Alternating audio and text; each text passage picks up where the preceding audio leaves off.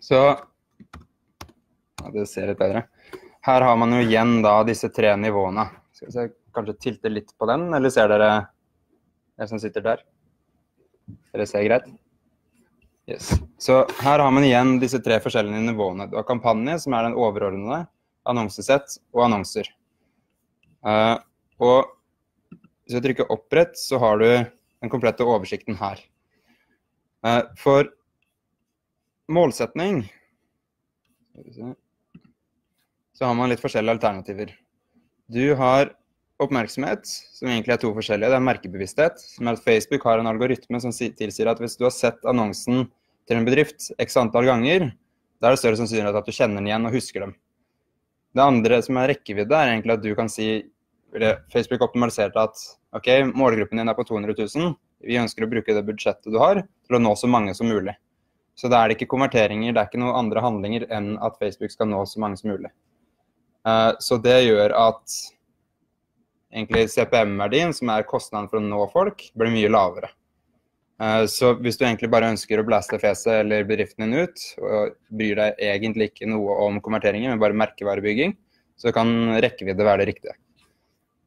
Så er det overveielsekategorien, som er trafikk, som er enkelt og greit er Facebook skal sende så mange klikk til siden din som mulig. Yes. Jeg må bare spørre på den uh, første der på oppmerksomhet. Yes. Så, men altså, for å velge den merkebevissthet, så må du allerede ha annonsert fra før av? Nei. Altså, alle disse her handler om hvordan er det algoritmen til Facebook funker. Hvordan skal den optimalisere. Uh, for primært så er det sånn at Facebook ser på hvem er det som har gjort en viss handling, og hvem andre er det som er like dem som gjorde den handlingen. Så jeg skal prøve å illustrere det. Så kan du tenke deg at hvis dette er hele målgruppen på Facebook Det er kjempemange folk. Og så nå sjekket jeg at det er ikke bare 3000 punkter på hver av oss, det er 5000. Og det er noen som også diskuterer at det faktisk er 50 000. Så, men det er sånn Man vet egentlig ikke helt. Dette gjelder Facebook. 2,4 milliarder det er nå. Uh, dette er det publikummet du har definert. Det er en interesse. De som er interessert i business, de som er interessert i personlig utvikling, you name it.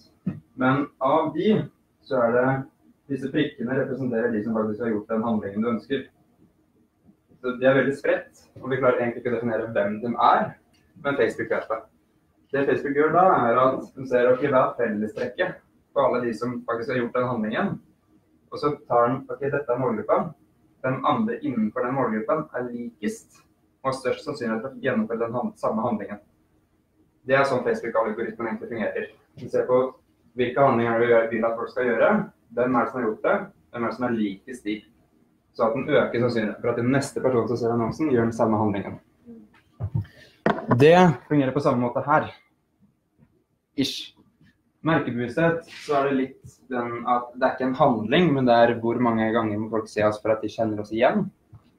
Rekkevidde er egentlig bare ok, jeg ønsker bare å vise det til mange som mulig. Trafikk fungerer på samme måte. Så prikkene, istedenfor at det er en handling, så er det bare klikket på Facebook. Så at de klikker på annonsen. Men den optimaliserer ikke for de handlingene som blir gjort etterpå. Så det er noe helt annet. Eh, engasjement fungerer igjen på samme måte. Men handlingen der er at folk liker annonsen din, de deler annonsen din, og de kommenterer på annonsen din. De liker Facebook-siden din. Så det er noe helt annet. Det er ikke noe eksternt, det er bare direkte der og da.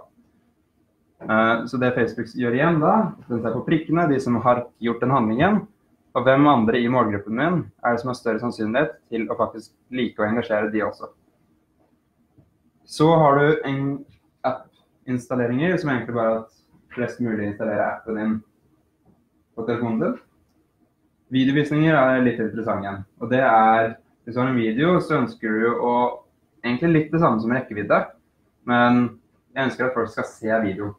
Flest mulig skal se gjennom den videoannonsen jeg har, sånn at flest mulig får med seg budskapet. Da er det igjen samme måte. Prikkene, de som har sett så og så mange prosent, får flere til å se. Får flest mulig til å se gjennom video. Uh, kundeemnegenerering er relativt nytt, eller ikke så nytt. Men det er Husker dere konseptet med landingsside? Fylle inn navn og e-post for å komme videre? Face- Kundeemnegenerering er bare det direkte på Facebook.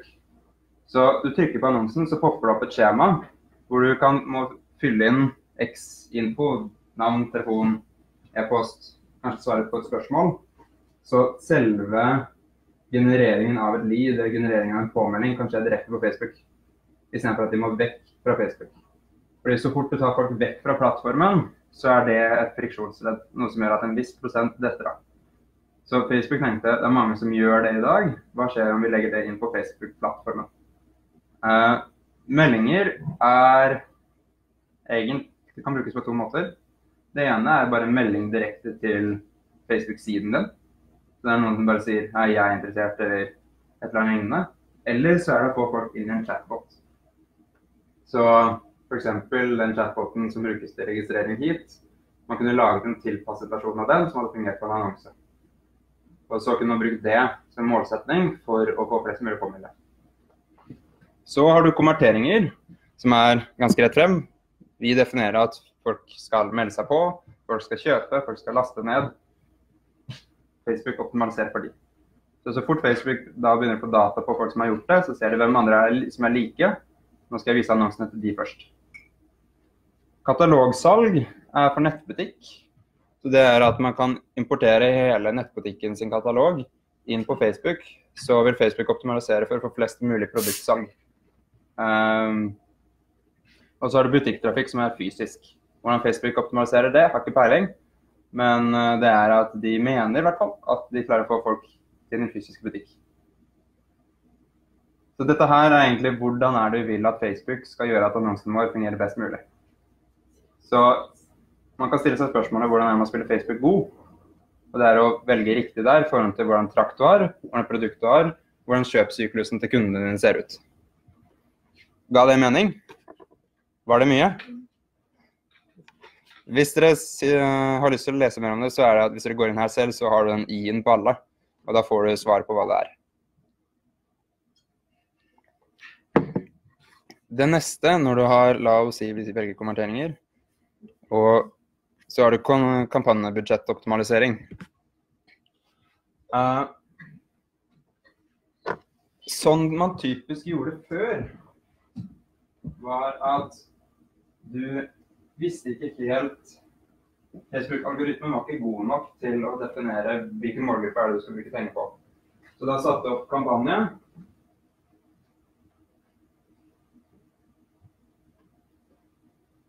Du satte opp annonsesett. Og du setter på to eller tre annonser.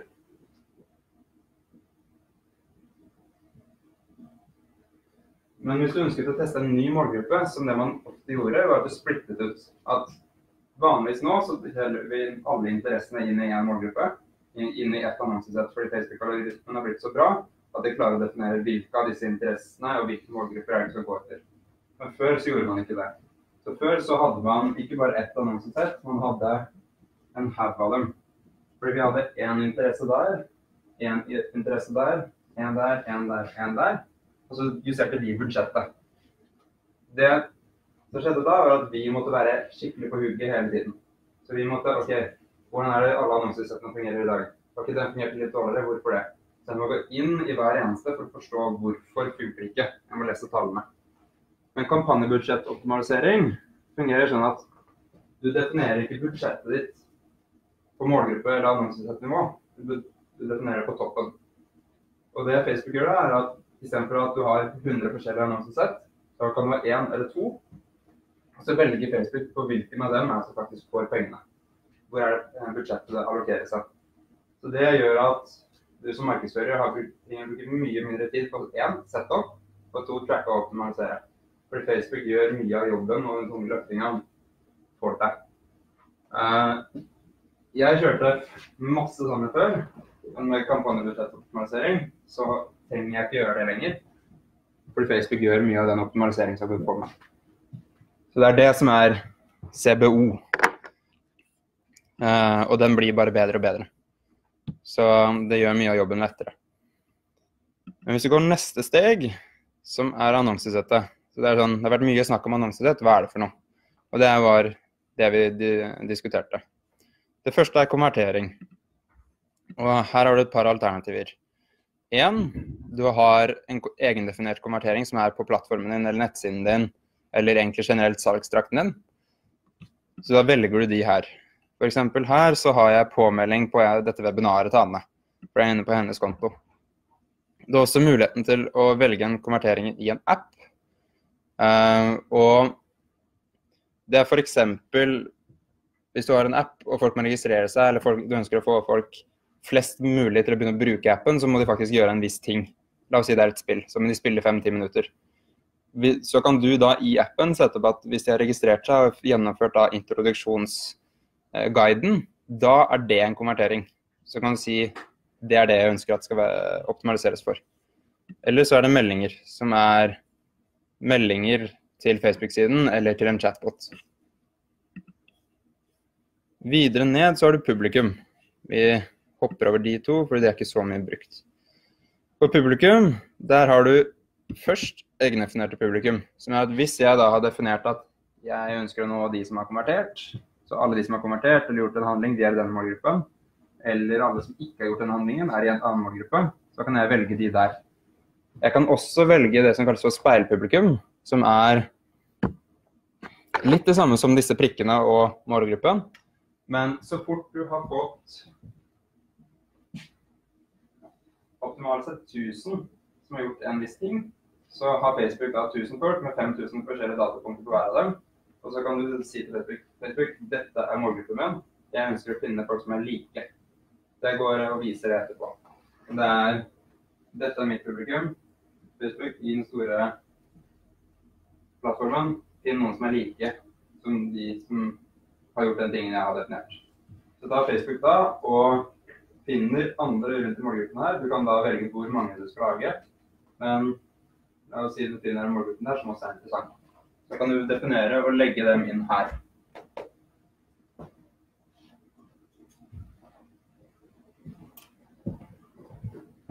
Det neste er steder, og her kan du legge inn lokasjon. Veldig enkelt. Norge, du kan legge inn radius, så du kan sette en nål f.eks. i Oslo. Eh, Så kan du definere radiusen rundt. Radius er genialt når det f.eks. kommer til lokale bedrifter. Så tannleger, fysioterapeuter og de typer bedriftene. For man gidder jo ikke stikke altfor langt for å dra til dem. Eh, generelt ellers, hvis det ikke er noen lokale bedrifter, så kjører man typisk hva skal vi si, hele Norge eller en region.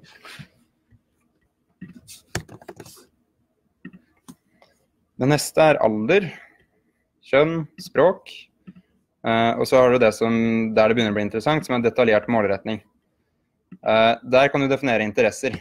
Og nå kommer vi litt inn på det utfordringen som har med det å finne riktig målgruppe.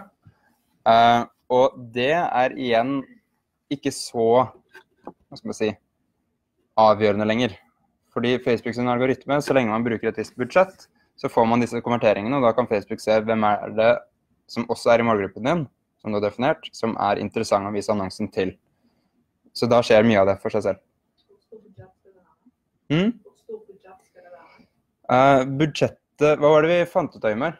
Var det ti kroner per 1000 i målgruppen, som er maks? Fjerne to nuller. Ja, ti kroner per 1000. Så budsjettet trenger ikke nødvendigvis være stort fra starten, men man har et topptak, som er hvor mye er det du kan bruke for en målgruppe du har definert.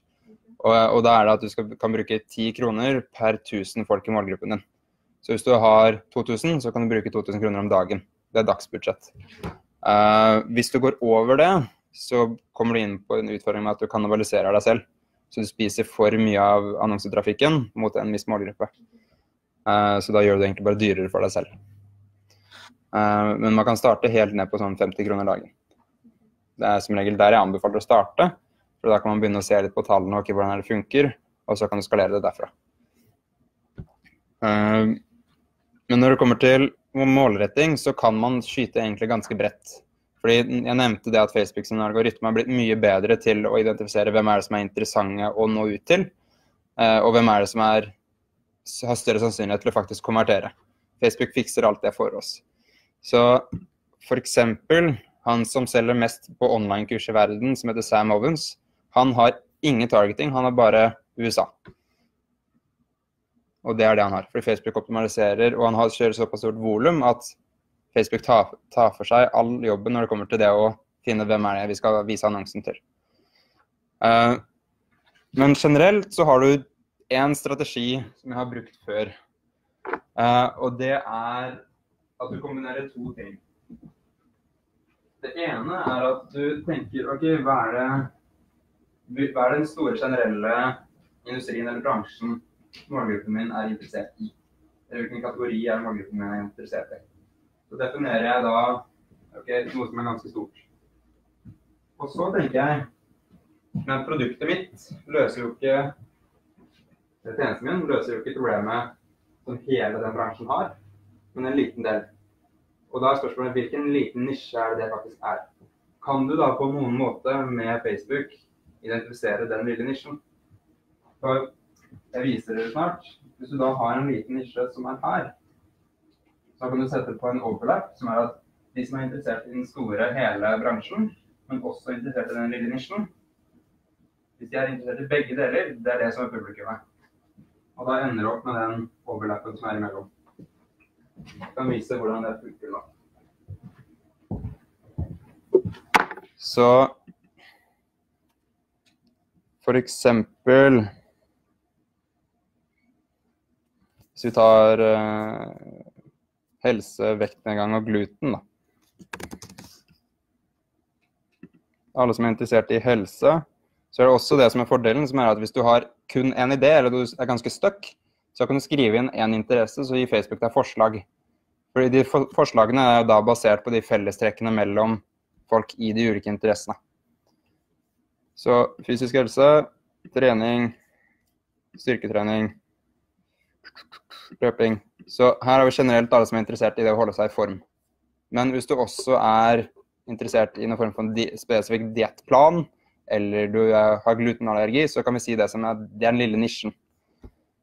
For under her så har du muligheten til å ekskludere personer eller begrense publikum. Og da kommer jeg til hvordan man ser på det igjen. Over her så er det inkludert personer som oppfyller, og da er det én av dem. Du kan se for deg at hvis du legger inn flere interesser, så er det som en stor gryte. Du kaster masse forskjellige interesser oppi, og Facebook tar blindt opp én og det er det eneste kravet. Så det er ikke at folk må være interessert i alle, men det er minst én, eller én av dem. Og hvis jeg eh, trykker på definer videre, så er det at de må være i den første gryta og den andre gryta. Så er det å plukke opp én fra den og én fra den, matcher de sammen, og da finner du målgruppen. Og her kan det f.eks. være gluten. Og da kutter det betraktelig ned. Grunnen til at man bruker den, er litt at hvis man kun velger gluten, så hender det at Facebook sin targeting og egentlig segmentering av målgruppen ikke alltid er helt on point. Men hvis du bruker da generell industri- eller bransjetargeting først, så vet du at det er interessert i hvert fall innenfor det temaet. Uh, og det funker også godt hvis du er litt usikker på hvilken type nisje du skal gå etter. Så i hvert fall så treffer du den store og den hele.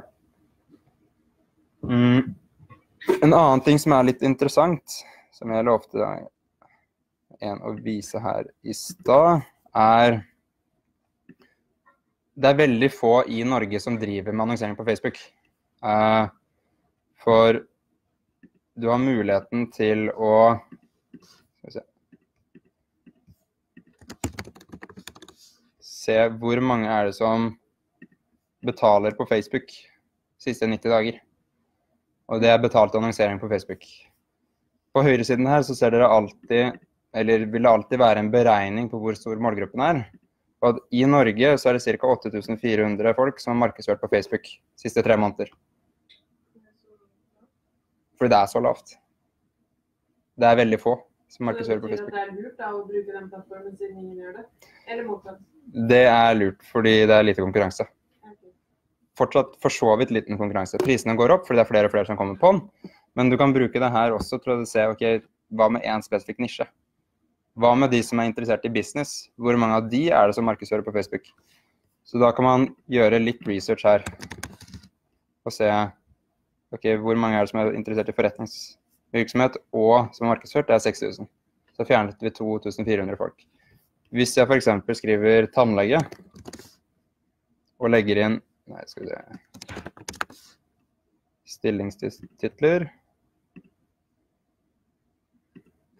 Jeg legger inn alle på tannlege, så vil man alltid få at det er færre enn 1000. For målgruppen er så liten. Og da er det sånn OK, det er La oss si 500, da.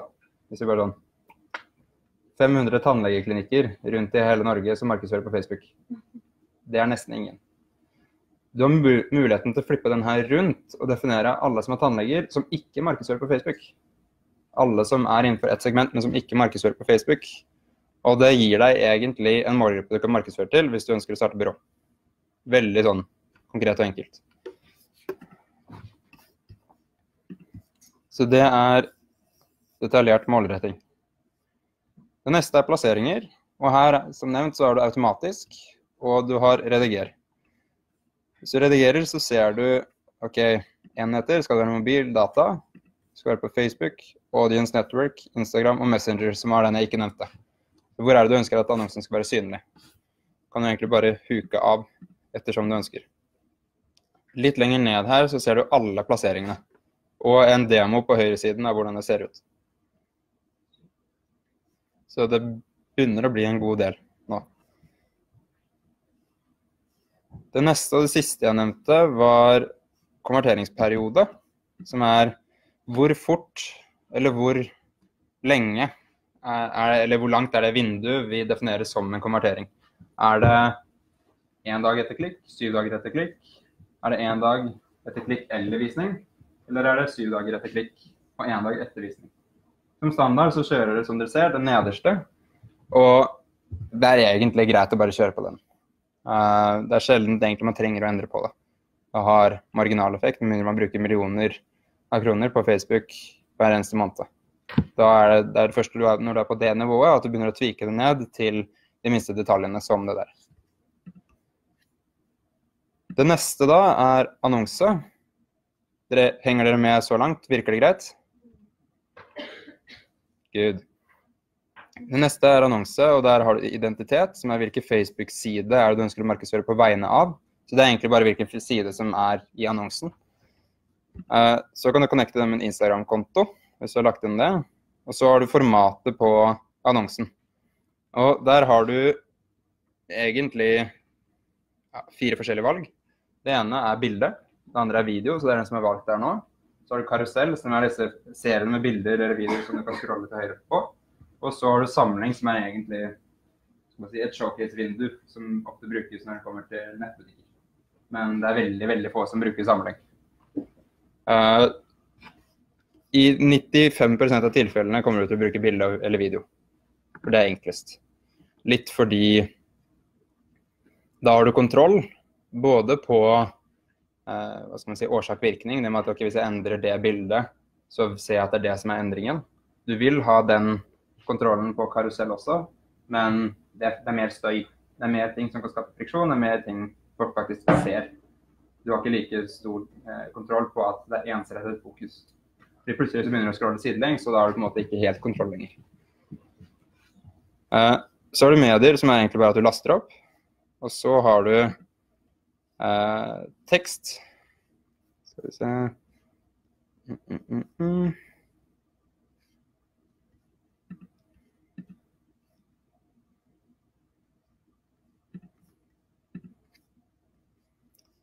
Så, mens du oppretter, så vil du kunne se en sånn preview, forhåndsvisning på høyresiden. Hovedteksten er det som er over annonsen.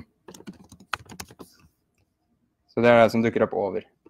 Den neste overskriften er det som dere ser under der. Eh, så har du beskrivelse, som dere også ser der, som er der. Og så har du URL-en, som er hvilken side er det jeg vil at folk skal sendes til dersom de trykker på annonsen. Det kan jeg endre til et Facebook-arrangement.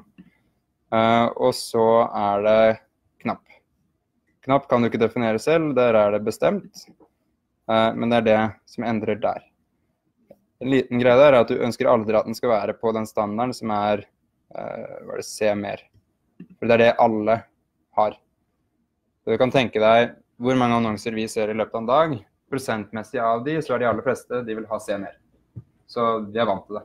Og siden vi er vant til det, så blir vi blind på det, og da er det færre som klikker på annonsene. Sånn liten ting. Um, for når det kommer til annonser, så har du det som heter pattern interrupt, som er Vil folk stoppe når de ser annonsen din, eller vil de scrolle videre? Majoriteten vil scrolle videre, men hva er det jeg kan gjøre som gjør at det endrer seg? Var det en hånd Yes. Jeg var lurt på den der eh, siste uka, som er sånn der sløp nå, eller eh, se mer. Mm. Den Facebook verifisert selv, eller er det Nei. Som standard så står det alltid på se mer. Men du kan trykke her og endre til de som er her. Eh, så du har muligheten til å velge en som er en annen. Men eh, det er begrenset antall, så vi har som regel sett alle sammen før. Men det å bare endre for å se mer, det vil ha en 0, et eller annet prosent økning i hvor mange som trykker på annonser. Er det mulig å gå tilbake igjen og klikke på det liksom? Ja, Det, det kan du gjøre. Ja, når du har opprettet, så kan du egentlig endre på alt. Det eneste du ikke kan endre på, er hvis du har valgt rekkevidde. Så har du muligheten til å sette opp et tak på hvor mange ganger folk skal se annonsen. Så du kan se ok, de skal se den én gang hver syvende dag. Den frekvensen kan du ikke endre på etter du har laget annonsen. Da må du lage den helt på nytt. Men utover det så kan du endre alt etter du har publisert. Du sa i stad at eh, man treffer en målgruppe, og Mm. så lager til sammen nesten lik målgruppe. Eh, speilpublikum, eller look-alike. Mm. Og så tenkte jeg, jeg, jeg skjønte ikke den helt, for jeg tenkte på sånn, hvis du allerede treffet den målgruppen, hvordan kan du finne en annen som skal like den? Har du, ikke allerede først treffet den da? Eh, du kan tenke deg De sier at ca. 2 2-3 av målgruppen din kommer til å kjøpe av deg. Hvis du har en målgruppe på 100 000, så har du jo da 2000-3000 stykker. Hvis du har fått 500 salg, så er det fortsatt da 1500-2500 igjen. Du har lyst til å nå dem, men dem er ikke nødvendigvis i den interessemålgruppen du har definert. Og da kan du sitte jeg ønsker folk som er utenfor dette. Fordi det vil være folk som ikke har trykket like på en eller annen form for interesse eller gjort et eller annet på Facebook som gjør at de faller inn under interessekategorien, men de er på Facebook likevel. Og Facebook har muligheten til å se at disse er like interessante, de også. Så det gjør, er at du først finner riktig målgruppe, eller finner frem til publikum, og så, og så går du tilbake igjen og finner tilbake til det som er ganske dyrt. Så den ser alle de som har gjort en viss handling, hva er fellestrekk hos dem? Jo, alle har gjort dette, alle ser så ca. så og så mange prosent av en video innenfor den kategorien. De liker det, de stopper når de ser en annonse innenfor det. Ok, disse er like.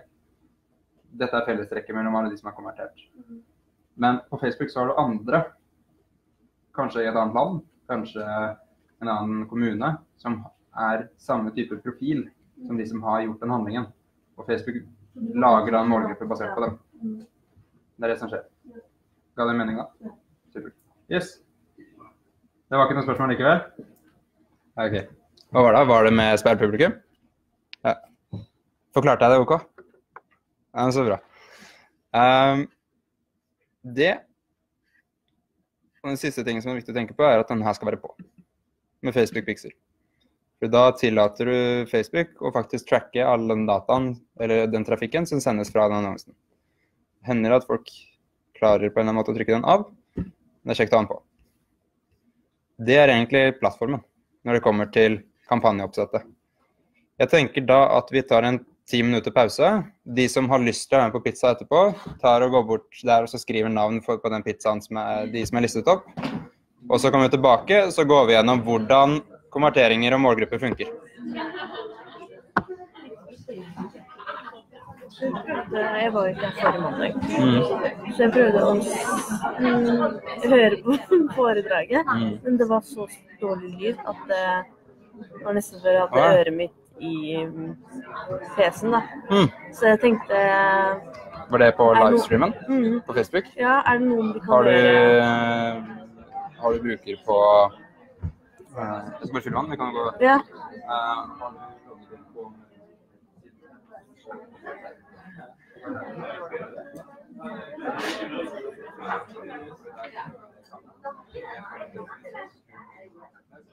har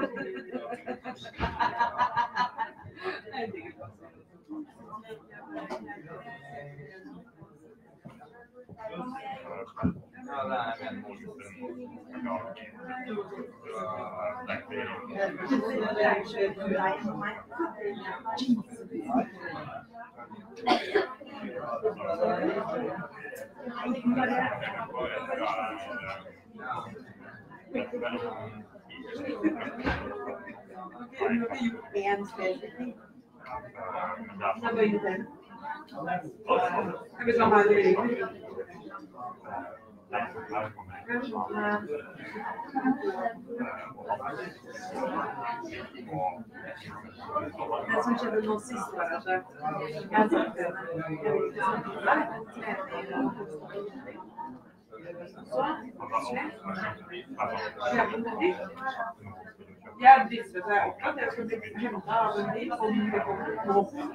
Men jag var personligen där.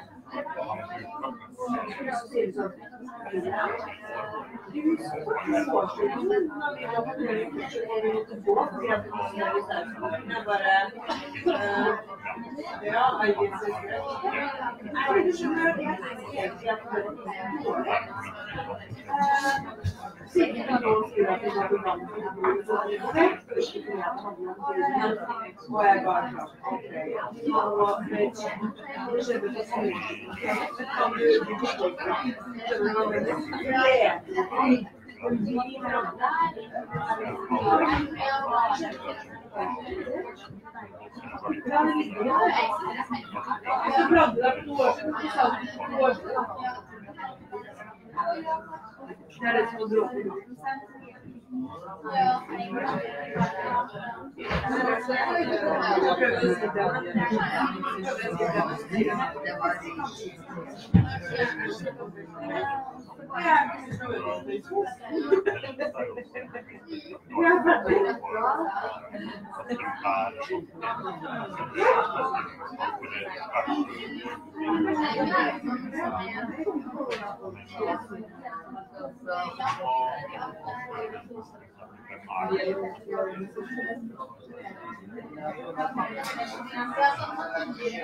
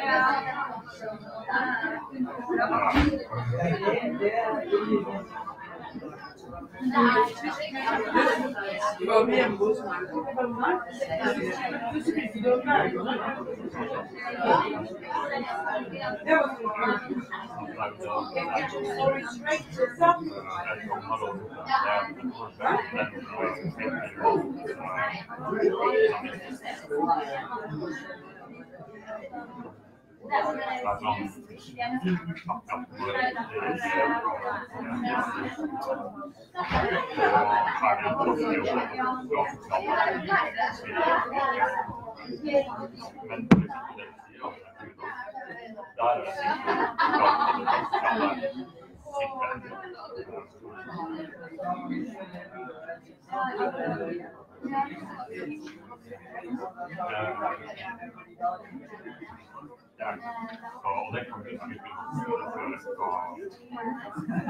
snart.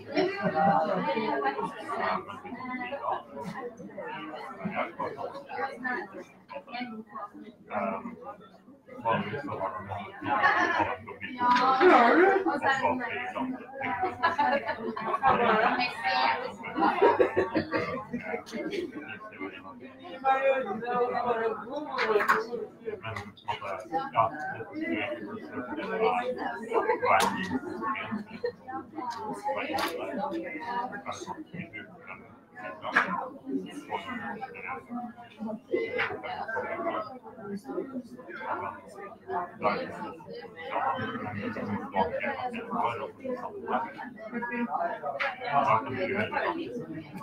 Biru.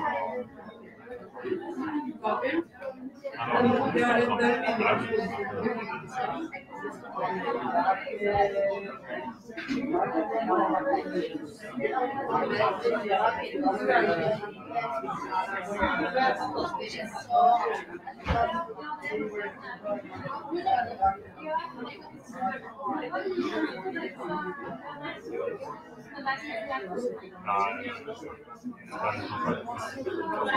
logget på-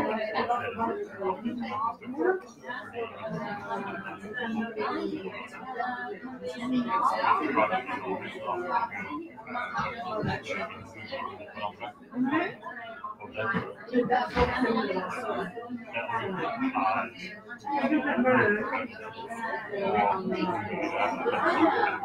Å ja, det var den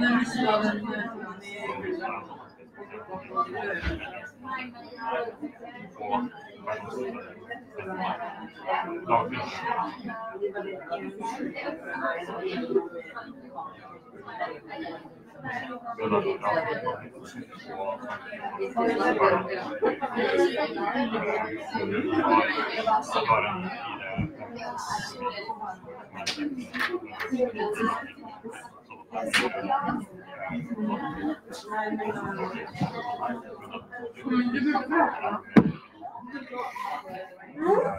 eh, Du, du skjønner at det er brukt, må du snakke om det.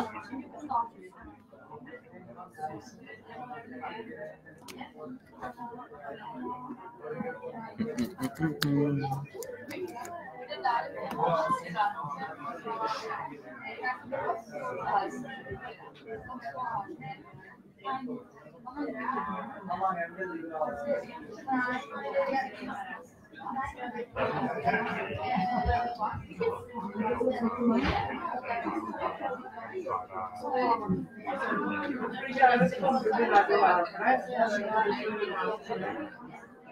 tok opp, da jeg tok opp eh,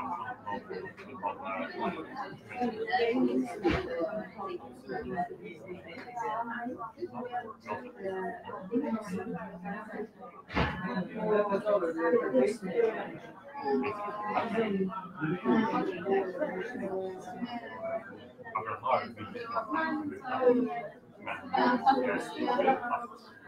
nå, i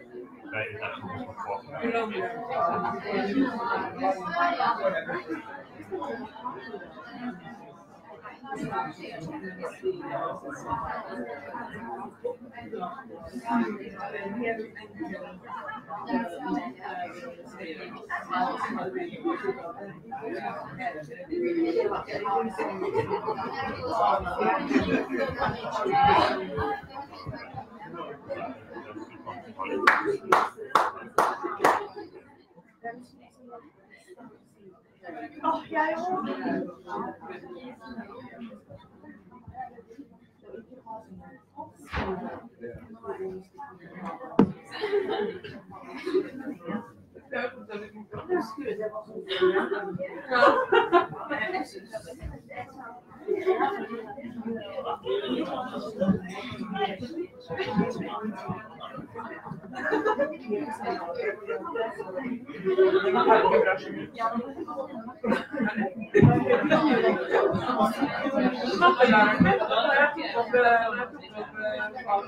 voksen alder, mattelæreren min, hadde null Jeg vet ikke, jeg kunne gjort noe mye Hva var Yes!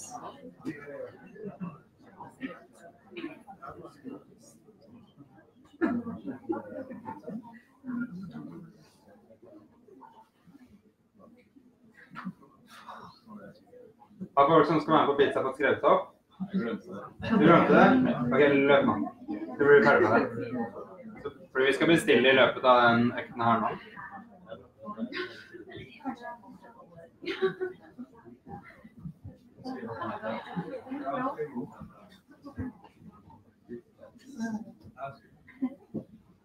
Yes.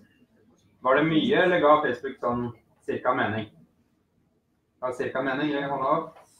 Ok, da Ja, fordi det er ett ord som du sa mange ganger, som jeg eh, tenkte sånn Jeg kommer sikkert til å forstå det til sikkert- Men så-? Men så fikk jeg ikke det. Unnskyld. Du husker ikke hvilket ord det er? Jo, konvertere. Konvertere. Det er at du definerer noen som har gjort en spesifikk ting. Så de som har vært inne på én side og gjort en handling på den siden, så de har landet på en ny side, det er en konvertering. Det er det jeg skal gå gjennom nå. Så hvordan det funker, hvordan man setter opp. Alright. Så vi var på en måte ikke så mye gjennom dette her enda, men du har to måte, kontor på Facebook når det kommer til annonsering. Du har det som heter annonseadministratoren, som er der du i prinsippet gjør all annonseringen. Og så er det det som heter business manager. Business manager er overparaplyen til annonsekontoen. Så det er litt det samme som kampanjer til annonsesett. Business manager er der man i prinsippet fyller inn alle infoen om bedriften sin. Og du kan tenke deg at hvis business manager er hele bedriften, så kan du tenke jeg ønsker å føre bilagene og at fakturaene på to forskjellige prosjekter skal defineres til, som to forskjellige prosjekter, istedenfor at jeg har alle kunder under ett tak. Et eksempel på det er markedsbyråer som har ja, flere kunder. Og et veldig godt enkelt eksempel er jeg har masse forskjellige annonsekontoer. Hvis jeg hadde hatt én konto, så hadde alle de vært innunder den kontoen. hadde vært totalt kaos. Så jeg splitter kunder på ulike kontoer. Bare sånn litt sånn grov forskjell. Men når det kommer til det å definere konverteringer og definere målgrupper, så er det egentlig ganske enkelt. Uh, og I menyen så har du et par ting som er verdt å tenke, eller egentlig bry seg om. Ikke noe bedriftsinnstillinger, det tar deg til business manager. Men det er ikke noe viktig nå. Her har du annonseadministrasjon. Så er det automatiske regler som egentlig tillater deg å si at dersom som jeg kostnaden per resultat går betraktelig opp, da ønsker vi å skalere ned budsjettet, sånn at vi ikke kaster bort penger. Og du kan definere mange ulike sånne typer regler som gjør at du egentlig automatiserer mye av driften av annonsene dine. Og det bare blir bedre og bedre. Eh, Det neste er publikum. Det er det vi kan gå inn på først. Eh, For man ønsker Dere husker salgstrakten? Hvor det er annonse, landingsside, eh, en side folk lander på etterpå, og så har du kanskje kunde etterpå. Vi ønsker å definere en målgruppe basert på alle de som har vært på hvert eneste steg.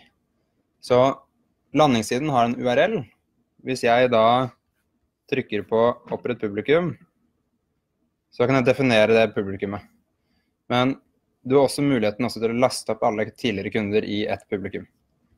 Men hvis vi gjør det enkelt, trafikk på nettstedet, her har vi forskjellige alternativer. Det ene er at du kan si alle som har vært på nettsiden vår siste x antall dager, så det er alt fra 1 til 180. Du kan også definere de som har vært på bestemte sider. Så de som har vært på spesifikke sider på nettsiden, de som har vært på spesifikke sider i salgstrakten. Sånn at vi har kontroll. Så de som har vært på spesifikke sider, så kan vi lime inn URL-en til den siden. Og det er egentlig ganske greit når vi kjører enkelte små kampanjer med at ok, vi har én landingsside vi sender folk til, som er spesifikk til den annonsen vi kjører. Vi, hjemmesiden det er ubrukelig når det kommer til konvertering for de aller fleste. Eh, så vi ønsker å bruke en landingsside. Så vi ønsker å definere de som har vært på den spesifikke siden. Eh, her kan vi si inneholder ikke, er lik eller generelt inneholder. Eh, og det kan bare være alle sider som inneholder slash LP på landing page, f.eks. Uh, eller så kan man skrive inn hele. Så gir du det et navn, trykker opprett, og da vil den være opprettet. Eh, skal vi se om jeg finner en.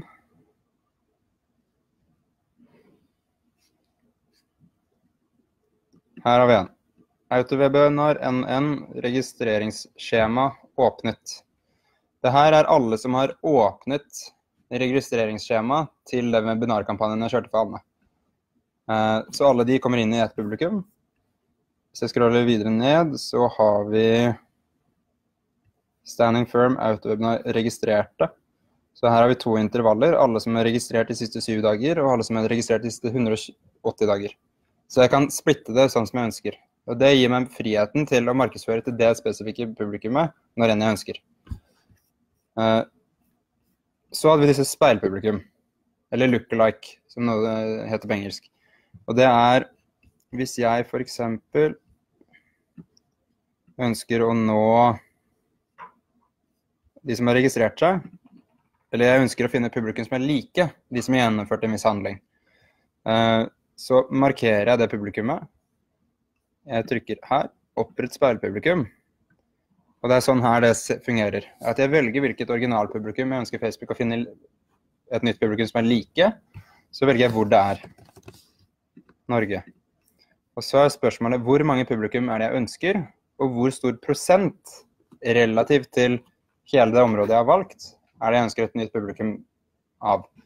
Eh, Så da kan jeg velge alt fra 1 til 10% Det vil jo da være prosentmessig av den lokasjonen du har valgt. Så hvis det er Norge, 10% så er det 388 000. Jo lenger, jo høyere prosent det er, jo mindre like er de det originalpublikummet ditt. Eh, og det er derfor man ofte, det hender i hvert fall, at man kjører tre publikum. Eh, for da kan man definere, bryte det ned. At du har enkelte segmenter. Så jeg kan si de som er 1% like, de som er 2% og de som er 3% Så at man splitter det. Uh, når jeg jobbet i Inspiro, så hadde vi reglene at vi alltid opprettet tre, og at vi lagde de 2 og 2 Sånn som dette. For da er jeg tre publikum av 77 000 som er ish like originalpublikummet mitt, som jeg ønsker å markedsføre til senere. Man kan også bare kjøre én på 6 så. Trykker du opprett, så lager Facebook det publikummet for deg. Det tar litt tid, og så er det populert, ergo at Facebook har lagt inn målgruppen inn i publikummet, sånn at de faktisk kan se annonser om du velger de som målgruppe. Var det å forstå? Dere nikker, da lukker jeg den.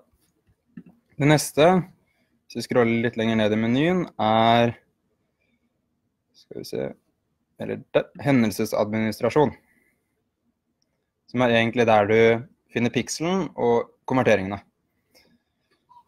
Uh, hvis vi trykker oss inn på pikselen, så tar vi først se på den. Det, her vil du se alle tingene som har skjedd. Alle handlingene, alle konverteringene, alle hendelsene du har lagt inn som faktisk har aktivert seg. Uh, og dette her er da konverteringer jeg har satt opp. Når du starter med en ny annonsekonto, så vil du ikke se dette. Da vil det være helt tomt. Og så er man da spørsmålet ok, hvordan vet jeg at jeg har satt opp konverterer ordentlig? Hvordan vet jeg at konverteringene avfyres og aktiveres? Så hvordan er det man egentlig feilsøker? Da er det to alternativer. Enten så kan du trykke på test hendelser, og og da får du opp den her, og så kan du åpne den URL-en eller den siden til f.eks. landingssiden din, eller den siden du ønsker å teste. Et annet alternativ er at du scroller litt ned. Du endrer fra hendelser til URL-adresser. Så da vil du se hvilke URL-er er det pikselen har aktivert seg på. Så kan du se det nedover her. Da kan vi se at det har vært 3,9 tusen hendelser på eh, påmeldingssiden til webinaret til Anne. Så kan jeg da feilsøke. Se alle sider du har vært innpå. For å da egentlig også gjøre en røff vurdering på hvilke sider er interessante. Hvilke sider har folk beveget seg på, som ikke er direkte første eller andre siden i kampanjen vi har kjørt. For da kan man tenke seg ok, kanskje det er en, si, en hendelse, en side det er interessant å lage en konvertering på. Og det kommer da til lage konverteringer. Egendefinerte konverteringer, det fungerer litt sånn som det å lage publikum, men eh, du kan lage en sånn if or eh, statement. Så du kan velge folk som har vært på side med URL, så f.eks. landingsside igjen. Så kan de også måtte vært på en annen side. Det er dette som brukes når man tar konverteringer som regel. Det er at De må ha vært på landingssiden og si, takkesiden, eller siden de kommer inn på etterpå. Så er siden før konvertering og siden etter konvertering. Uh, og så lager man det, og da er det en ting du kan be Facebook levere flest mulig av. Eh, de som har vært på siden etter de trykket på annonsen, fullført handlingen og landet på neste side. Eh, du kan teste da å både ha den første og den andre URL-en Eller så kan du bare ha URL nummer to. Det er litt sånn opp til eh, hva man ønsker selv. Jeg legger inn som regel begge to. Skjønner du da litt mer hva konvertering er? Supert. Så gir, gir du navn, så kan du velge hvilken kategori den er. Om det er vis innhold, søk, om det er et kundeemne, så er det registrering, om det er et kjøp. Så kan du også legge inn en verdi på det. Legger du inn en verdi på det, så har du muligheten direkte fra Facebook Ads å se hvor mye er det du har solgt for. Og Det kommer jeg til å vise dere nå snart. Gir konverteringer mening? Litt færre som nikker. Er det noen som har spørsmål om konverteringer? Nei, jeg skjønte ikke. Du skjønte ikke? OK, skal vi prøve å illustrere?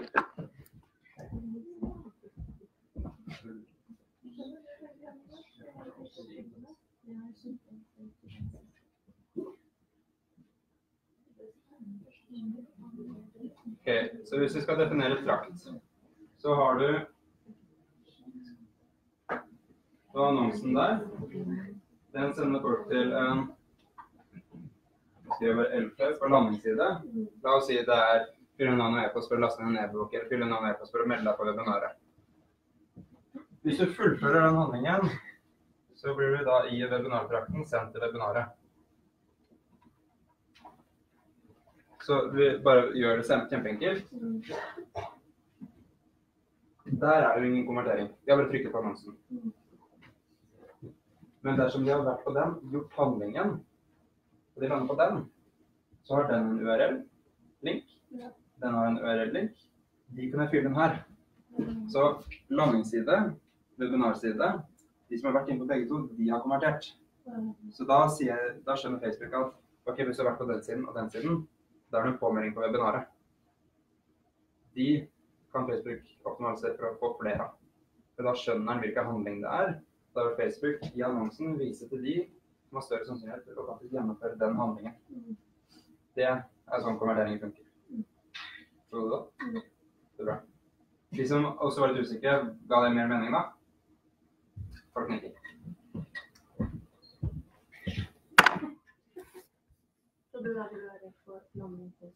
Du kan legge inn for landingssiden, du kan legge inn webinar.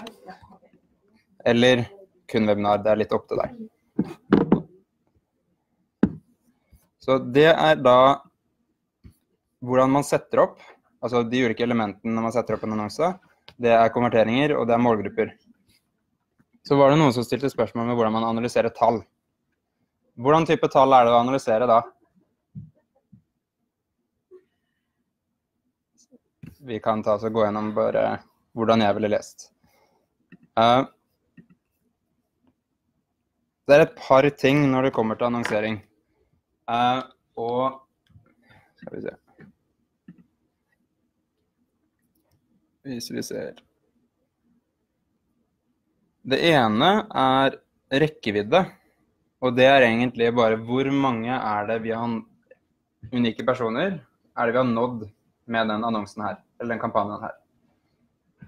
Det neste er Nå var det her litt håpløst lagt opp, da. Frekvens, som er OK, disse la oss si 45 000 personene. Hvor mange ganger er det de har sett annonsene i gjennomsnitt? Og her er det 2,29 ganger hver. Eh, Så er det resultat. Eh, Men litt lenger bort her så har du litt mer. Du har det som heter eksponeringer, som er Ja, det var 45 000 personer. De til sammen har sett annonsene 104 000 ganger. Eh, Det neste er da CPM. Er det noen som husker hva CPM var? Har, har du lest den ordboka, da? Eller husker du hva det heter? Kostnad for å nå 1000 personer. Så all kostnaden din på hvordan annonsen kommer til å fungere, er avhengig av det tallet. Det tallet har du ikke kontroll på. Eh, eller du har for så vidt kontroll på det med å lage en annonse som fenger målgruppen. Men det er et tall som representerer hvor mye, eh, si, hvor mye konkurranse det er, og hvor stor målgruppen er. Så er det veldig mye konkurranse på en liten målgruppe, så vil generelt CPM-en være ganske høy. For det er mange som spytter inn mye penger mot en liten målgruppe. Så det er supply and demand. Uh, neste er lenkeklikk. Vi ser alltid på lenkeklikk istedenfor klikk alle, som dere ser på høyresiden. Uh, fordi det er ganske stor forskjell. Klikk alle er Jeg har ennå ikke helt forstått fra Facebook og hvordan de forklarer og tracker alle klikk, men det er alt. Um, lenkeklikk er faktisk klikk til den URL-en du har lagt inn. Så det er mye mer, en bedre representasjon av hvor mange det er som faktisk har trykket på annonsene. Det neste er CPC, og det er kostnad per lenkeklikk. Så det er da OK, hvor mye er det vi betaler for at én person skal klikke på annonsen? Den går bare opp, opp, opp, opp. Når jeg startet med annonsering, så lå den fort på 1-2 kroner. Nå er det i hvert fall på den her 14,7 på den øverste. Det neste tallet er klikkfrekvens, eller CTR. Og det er hvor mange prosent av de som ser annonsen, er det som trykker på. Eh, Der har jeg i prinsippet tre nivåer jeg definerer. Det er under 1% Da bør du faktisk gjøre noe, for det er ganske lavt. For da blir kostnaden per klikket ditt ganske høyt. 1-2% er OK. Det kan du få til å funke. Og så er det over 2% som er ganske bra. Jeg har no, hatt noen annonser som er som ser på 2,54, som er den nest nederste. Men gjennomsnittlig så ser du at det er 1,35. Det er røftlig liksom OK, hvordan er det denne annonsen her faktisk funker? Men det er ikke det det er egentlig avhengig av, det er hvordan er det resten av trakten konverterer. Uh, skal vi se, er noen andre tall? Uh, du har det som heter relevanspoeng. Hvis det dukker her opp et sted.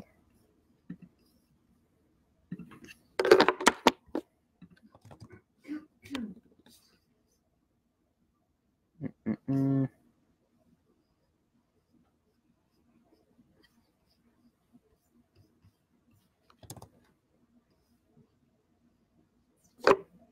Ja, Facebook gir deg også det som kalles for relevanspoeng, som er en score fra 1 til 10.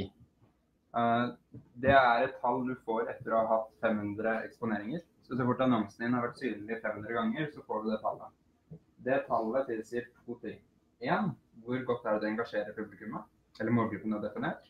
Og to, hvor godt er det din annonse presterer mot den spesifikke målgruppen versus andre annonsører som ønsker å nå den målgruppen. Er det kvalit... Har de renama det?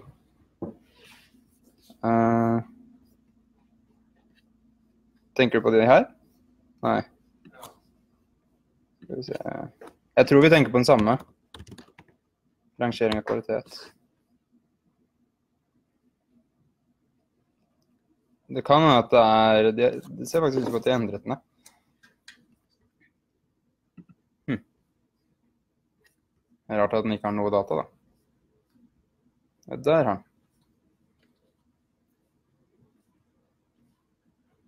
Ja. De er renama. Glemt stryk det jeg sa. Uh, I hvert fall det var sånn det fungerte tidligere. Nå ser det ut som at de har splittet det ut i tre, som er rangering av kvalitet, rangering av engasjementfrekvens og rangering av konverteringsfrekvens. Eh, som er da ok, kvalitet under gjennomsnitt, rangering av engasjement over gjennomsnitt, konvertering over gjennomsnitt. For å se da egentlig hvordan er det den funker. Men det igjen er egentlig bare en pekepinn. For det det egentlig kommer an på, er har du kontroll på hele trakten. Har du kontroll på klikket, har du kontroll på konvertering, og hvor mye er det du får igjen. Uh, og her var det fikk vi mye mer igjen enn det vi brukte. Mm. Yes. Så hvis vi tar struktur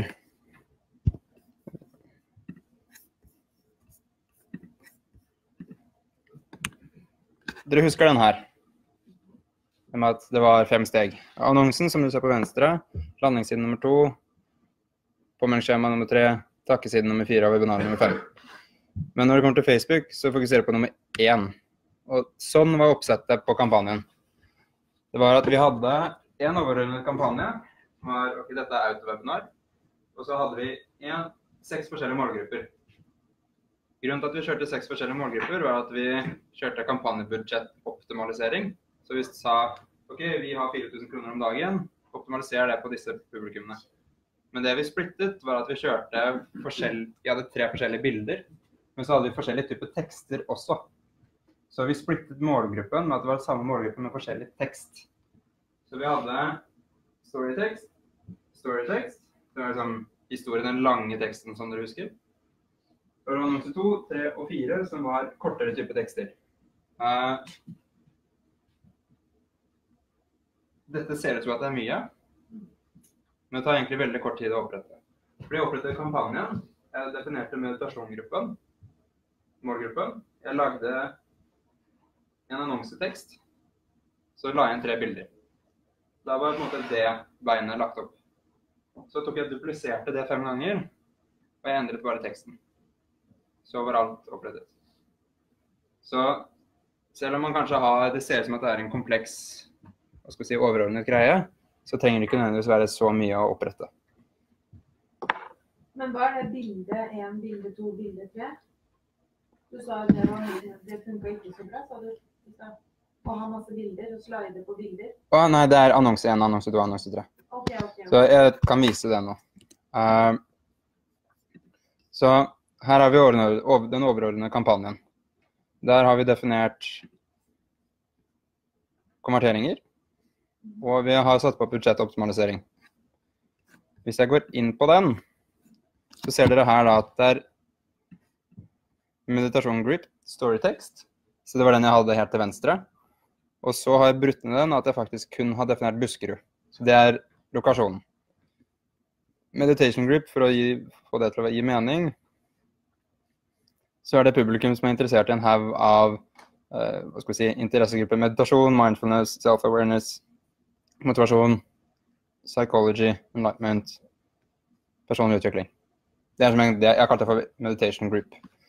Uh, så ser dere at det er flere nedover. Inni meditation group så har jeg tre bilder. Så når jeg oppretter en annonse, så kan jeg legge inn opptil fem eller seks forskjellige bilder, og så oppretter Facebook fem eller seks forskjellige annonser avhengig av hvor mange bilder jeg har lagt inn. Så jeg lager egentlig kun én, men jeg legger inn tre bilder. Og da oppretter den automatisk dette. Så Facebook da plukker ut hvilke bilder som passer best til den eh, konverteringen. Facebook, hvis vi da tar tallene, da, så er det basert på den kampanjen her, som har brukt 12 400 kroner, så har vi sett at den øverste den har gitt 191 konverteringer. 24 og 3. Den som har gitt flest, har gitt, kostet 57 per. Så er det 41 og 141. Det er jo ikke noe poeng for Facebook å bruke på den dyreste. Uh, men Skal vi se Hvis man da er, her tenker man kanskje at ok, men hvorfor har jeg ikke brukt mer penger på den i midten? Og det er fordi den i midten har ikke gitt noe salg. For her har jeg da satt opp tracking gjennom resten av trakten. Så her har vi registrering, kostnad per registrering. Og så er det oppmøte. Hvor mye koster det for å få én person til å møte opp på webinaret og begynne å se videoen? Og så er det hvor mange er det som faktisk har konvertert og kjøpt. Den øverste begynte å få salg relativt fort, og da tok Facebook og begynte å optimalisere og heller bruke pengene på den. For den andre, ja, det er kun 16, men det var sånn cirka én ut av ja. uh, skal Ops. 1 av 33. Så jeg burde kanskje brukt mer budsjett på den. Kanskje den hadde fungert bedre. Men det var den over som fikk salg, så da ble fokusert på den istedenfor. Bare en ting til. Helt nederst der så sto det 39 000 something. Yes. Og det er inn eller ut? Det er inn. Det er inn, og så er det 2480 ut. Nei. Uh, når jeg oppretter konvertering, så kan jeg velge hvilken verdi har den konverteringen. Så hvilken verdi har kjøp, hvilken verdi har påmelding. Uh, her var hver konvertering verdt 7950. Så hver av disse fem handlingene var verdt det. Per, per av de fem handlingene betalte vi 2400. Så vi brukte 2480 for å omsette for nesten 8000. Så da fikk vi mer penger ut enn det vi spyttet inn. Det som ble brukt, var 12 000. Så- Så 12 000 for å dra- inn 40 på, på den målgruppen her, og den annonseteksten der. Og det var det man kan se da nedover hele, men det var den øverste som ble fokusert på på slutten, fordi det var den som presterte best. Det var den som ga flest salg. Så kan man se da 218, 150. Den ga også fem salg, og den var faktisk billigere, men den ble dyrere, og da, da kuttet man. Fordi prisen er variabel. Yes. Går det inn og endrer de annonsene de justerer ikke hvor bra? Går det an? Du kan gå inn, så jeg kan gå inn her, trykke på den der, rediger, og redigere teksten. Jeg kan endre teksten her, jeg kan endre link, jeg kan endre knapp. Men jeg vil ikke gjøre det. For eh, du kan tenke deg hvordan vet jeg om den endringen påvirker resultatet? For det som skjer da, er at da har du én versjon en versjon nummer to av samme, hvor dataen overlapper. Så du vil egentlig ikke vite hvordan den presterer sånn egentlig. Om det er den endringen du gjør som har faktisk en effekt. Det er derfor du tar og dupliserer og gjør en endring i den du dupliserer. Så hvis jeg skulle gjort en endring på den, der, den bilde 1 som fungerte best, så ville jeg trykket på dupliser. Dupliser den. Og så vil jeg skrive da en endret. Og så vil jeg endret her. Eksempel bare jeg endrer La oss si de, da, til parenteser istedenfor sånne brackets. Trykker publiser. Da kan jeg teste versjon 1 mot versjon 2. Så at jeg da kan se ok, hvis begge de to da bruker 500 kroner de neste to dagene på hver av dem, da vil jeg se ok, hvordan er det de produserer opp mot hverandre da. Og da kan jeg skru av den som fungerer dårlig. Uh, for det som er avgjørende, er at du har kontroll på årsak-virkning. Egentlig gjennom på hele kampanjen, på annonsesett, målgrupper og på annonsene. For hvis du redigerer en som allerede eksisterer, så vet du ikke, da kan du ikke sammenligne denne opp mot noe. Så da blir det på en måte samlet data for alt i hele perioden. Det er derfor du tar og dupliserer, gjør endringene i den dupliserte, sånn at du kan se versjon 1 opp mot versjon 2. Da er det en, gjort en endring. Men hvis jeg skulle gått fra starten og begynt å analysere tallene, så ville jeg først sett på målgrupper. Så ville jeg sett ok, konverteringskostnad. Hvordan er det de ser ut? Ja, her er det ganske spredning. Det er alt fra 36, som man stiller kanskje spørsmål hvorfor kjørte jeg ikke den. Eh, men så ville jeg også sett på ok, hvordan er det CTR-en ser ut på de. Hvor er det den er? Her. Her ser jeg da at på den her er det 1,76% som klikker, men over er det 2,6. Kan det bety at målgruppen som ser den øverste, er mer engasjert enn de som er den, den nedre? Det kan man anta. For du har litt sånn Facebook også funker, som er litt sånn merkelig. er at Hvis du har en kampanje som har fungert bra, så kan den plutselig begynne å fungere dårlig. Fordi Facebook har optimalisert seg når det kommer til målgruppen i feil retning. Dette opplever vi ganske mye i Inspiro. Er at, La oss si dette er hele publikummet du har definert som målgruppen din. På Facebook, når den optimaliserer liksom, hvem er som er likest de som har konvertert, ok, la oss vise det til dem. Det er som at det er elver. Metaforisk. Prøver å forklare det til mening. Men du starter her Når Facebook optimaliserer, så går den i en retning i det store publikummet. Streken utgjør hele den målgruppen som ser annonsen, men innimellom så går den på en måte i feil retning. Plutselig så går den mot et publikum som ikke er like engasjert, som ikke er like interessante, eller som er rett og slett ikke like interessant for deg å ha som kunde. Det, som kan, det du kan gjøre, er at du kan bare duplisere hele kampanjen. Så starter den kanskje her.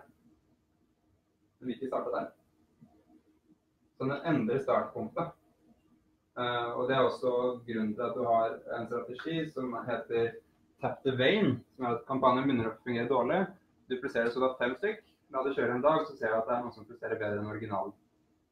Fordi du starter da på punkt én, punkt to, punkt 3, 4 og fem. Og så vil de da gå i ulike retninger. Kanskje tappe inn på samme, men det går sånn. Veldig rart. Skjønner ikke helt greia med det, men det funker. Ja, fordi alle i den sirkelen er målgruppen. Alle i sirkelen er målgruppen din. Strekene går ut fra hvem i den målgruppen Facebook viser annonsen til, basert på hvem de mener er likere som har gjort den handlingen du vil. Jeg begynner jo med en gang å tenke at når man eh, advertiser på Facebook, Mm. så hjelper man jo Facebook å skaffe enda mer data på oss. Mm. Fordi hvis vi da du trykker den, og så trykker vi på den, da, da får du jo enda et data på meg. Mm. Vi får enda et datapunkt på deg hvis du trykker på den annonsen. Og da Eller ja. Ok. Men det gjør igjen at du får mer relevante annonser videre. Nei, jeg syns jo som sagt egentlig at det er chill. Yes. Jeg bare lurer på hvor lang tid bør man kanskje duplisere igjen? Hvor lang tid bør man la det gå før man? Så du gjør en, egentlig en endring. Hvor lenge skal du la den gå før du vurderer om det funker eller ei? Ja, og så var det vi er på punkt én, da, så vi er på punkt én nå. Mm. Og så hvis jeg vil gå til Hvis jeg vil nå Når er det på en måte bør teste punkt to eller skal duplisere punkt to? Um, det er litt vanskelig å si. Det er veldig avhengig. Så jeg hadde ikke trengt å opprette den, den, den, den, den og den med en gang. Jeg kunne opprette bare én, og så ville jeg brukt alt budsjettet der. Uh, men vi ønsket å teste ulike tekstversjoner. For nå har vi brukt ja, Vi har omsatt på 2,6 snart i år. Um, så vi har på en måte visst at meditation-gruppen var publikum som var interessant. Så tidligere så hadde vi tre-fire andre som ikke var innenfor den kategorien. Som var andre ting. Det var sperrepublikum basert på folk som hadde meldt seg på tidligere uh, osv. Men det var det publikum som alltid fungerte best. Så siden det var det publikum som hadde fungert best konsekvent fra starten til nå, så hadde vi ikke noe poeng til å teste noe annet, så da testet vi tekst. Og det er primært rekkefølgen hvert fall jeg går når jeg tester, er at det første jeg tester eller setter opp mot hverandre, er et bilde. Jeg tester ett bilde mot to andre. Mm. Fordi jeg har en hypotese om at kanskje det bildet her fungerer bra, kanskje ikke. OK, bildet testet alle tre, jeg har funnet en vinner. Det neste jeg gjør da, er enten endre teksten, eller så endrer jeg målgruppe. Da dupliserer jeg og lager en ny tekst, eller så dupliserer jeg annonsesettet og tester en ny målgruppe. Men målgruppen var ikke interessant å teste nå, fordi jeg hadde visst jeg visste at det var den som fungerte best. Uh, men det tallet man ser på, er Du bør minimum ha 1000 visninger på én annonse før du egentlig avgjør om du skal skru den av eller fortsette med den. For da har du ca. fått mange nok klikk til å ha en formening om hvordan det vil fungere. Ca. 1000. Mm. Raskt gå gjennom den neste som er eh, salg av konferansen til Ski Conference i, som var i mars. Sånn så den ut. Den var litt mer. Så der var det fire overordnede kampanjer. Det er i hvert fall det jeg valgte å dra ned her nå. Det ene var at det var fem forskjellige typer scener, så områder på, i Spektrum.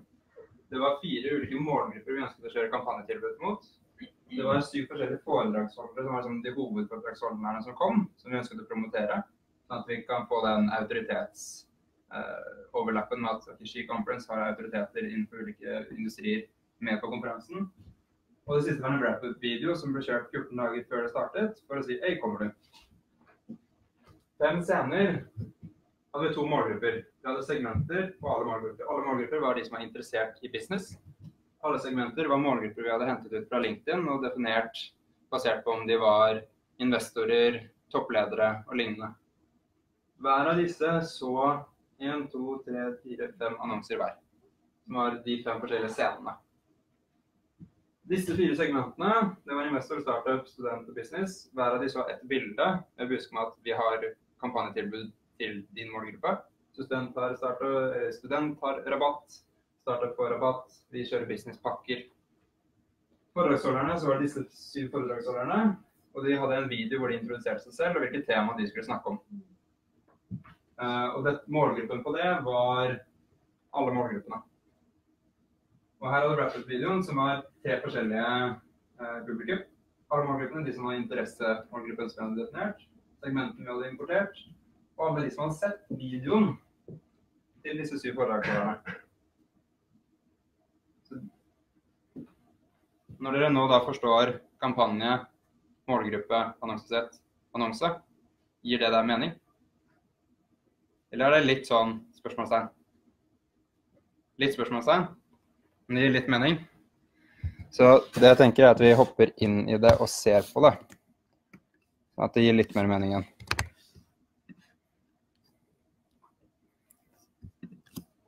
Så her ser dere fem scener. Så her var det en kampanje hvor målsetningen var konvertering fordi vi ønsket billettsalg. Så jeg trykker meg inn på den, så ser dere at her er det scene growth, equality, startup, future, investor. Og målgruppen er alle målgrupper. Scroller jeg litt ned, så ser dere at det er de samme scenene, men det er mot segmentene. Trykker jeg meg inn på growth, så er det growth scene. Så da er det en annonse for den, eh, det området eller den scenen. Så, og det samme gjelder da for de forskjellige. Hvis jeg ser på growth, så er den samme annonsen innenfor de som er hele målgruppen, og de segmentene. Og sånn er det det fungerer utover i den illustrasjonen jeg hadde. Eh, jeg kan sitte her og bruke mye mer tid på å gå gjennom selve dataene og kampanjene, men forstår dere litt om hvordan strukturen funker? Med at du har en kampanje der definerer du hvordan skal Facebook optimalisere. Annonsesettet som er målgruppen, hvilken konvertering, hvor skal de se det, og hvilket budsjett. Og annonsen som er hva er det de faktisk ser. For det er at vi har nå egentlig kommet til en pause. For at vi skal rekke og ikke bruke altfor lang tid, sånn at pizzaen blir altfor seint. Um, så er det igjen det Facebook-kurset som kommer. Dere har muligheten til å få tilgang til det. Jeg kommer til å publisere i gruppa mer info om det når det er ferdig, uh, som forhåpentligvis er neste uke. Så da tenker jeg vi tar en ti minutter. Så starter vi kvart på.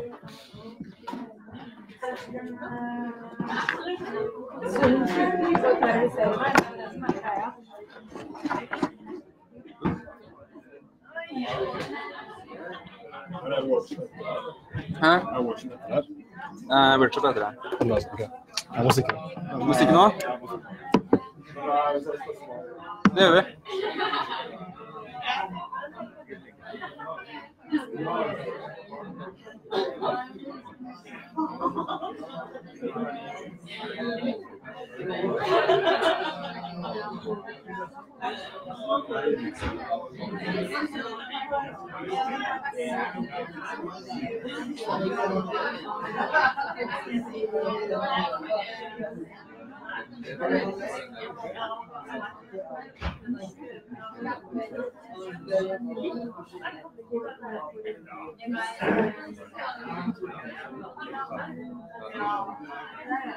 Yeah.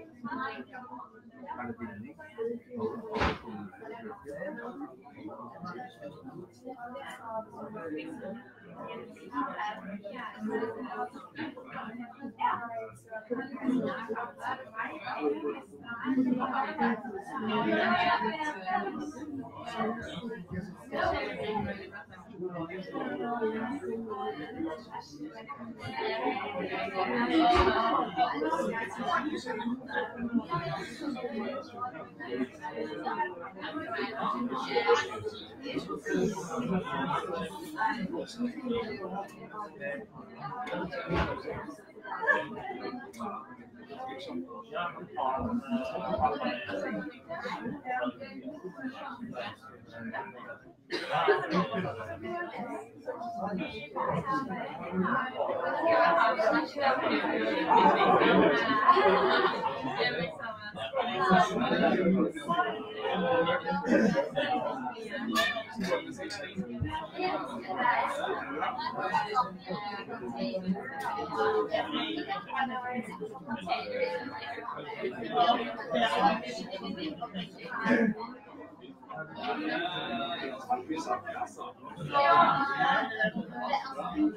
Thank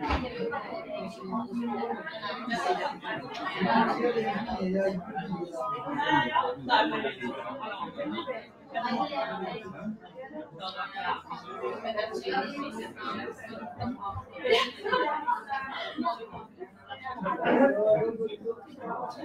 har bara andra stycken.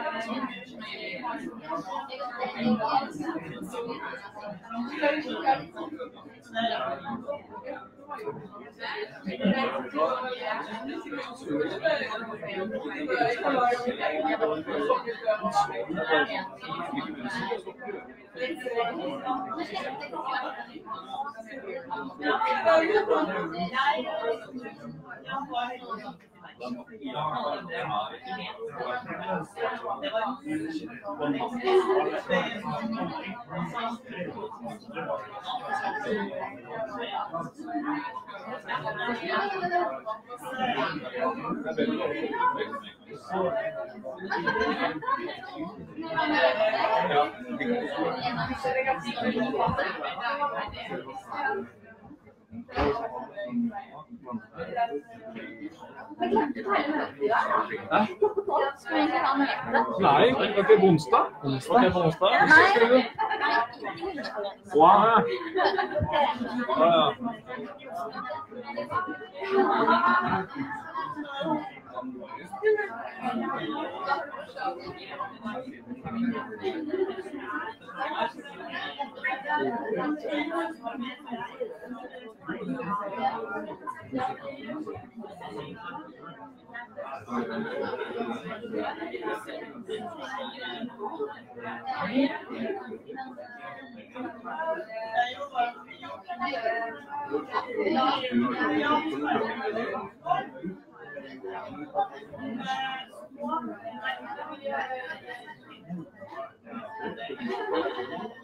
Vi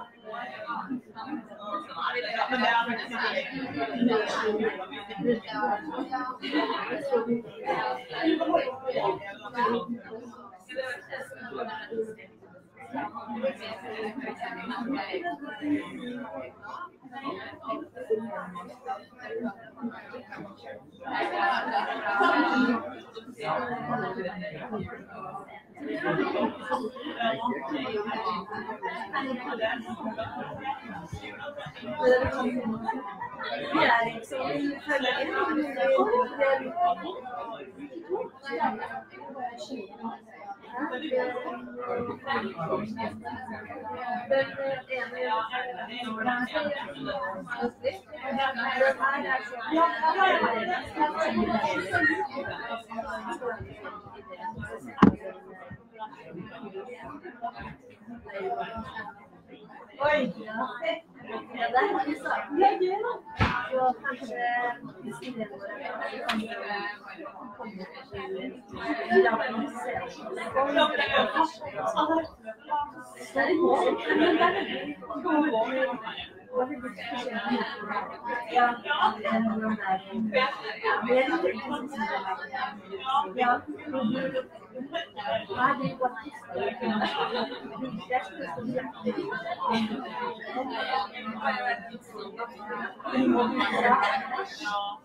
Da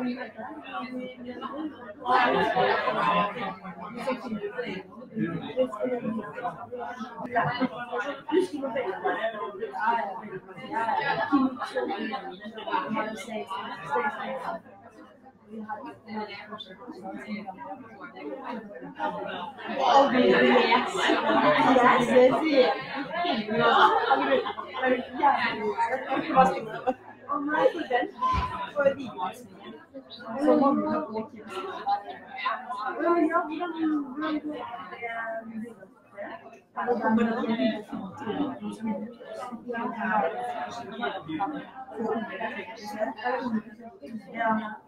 Ja, jeg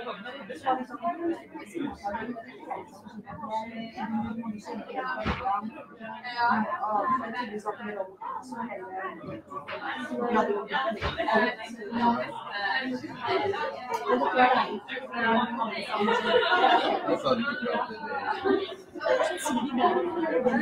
det er selvfølgelig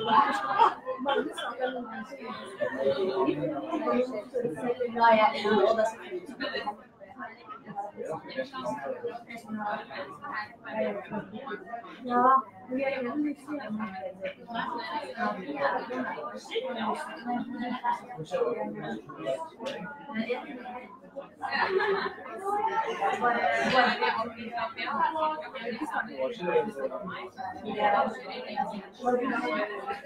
Nei, jeg jobber jo på Folkene, som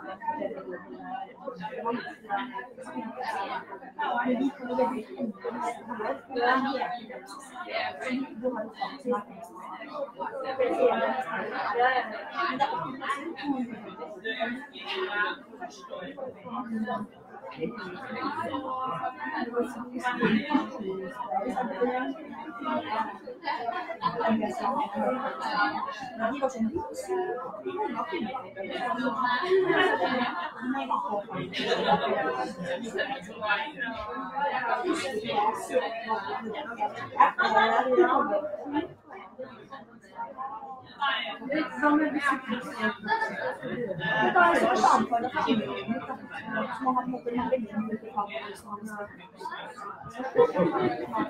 Det blir veldig spennende. Ja.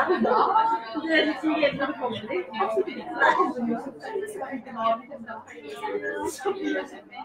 Det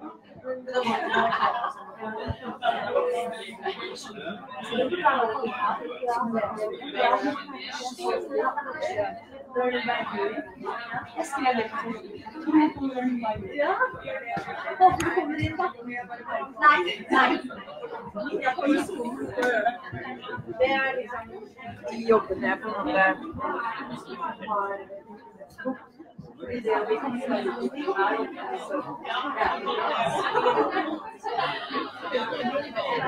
Yes!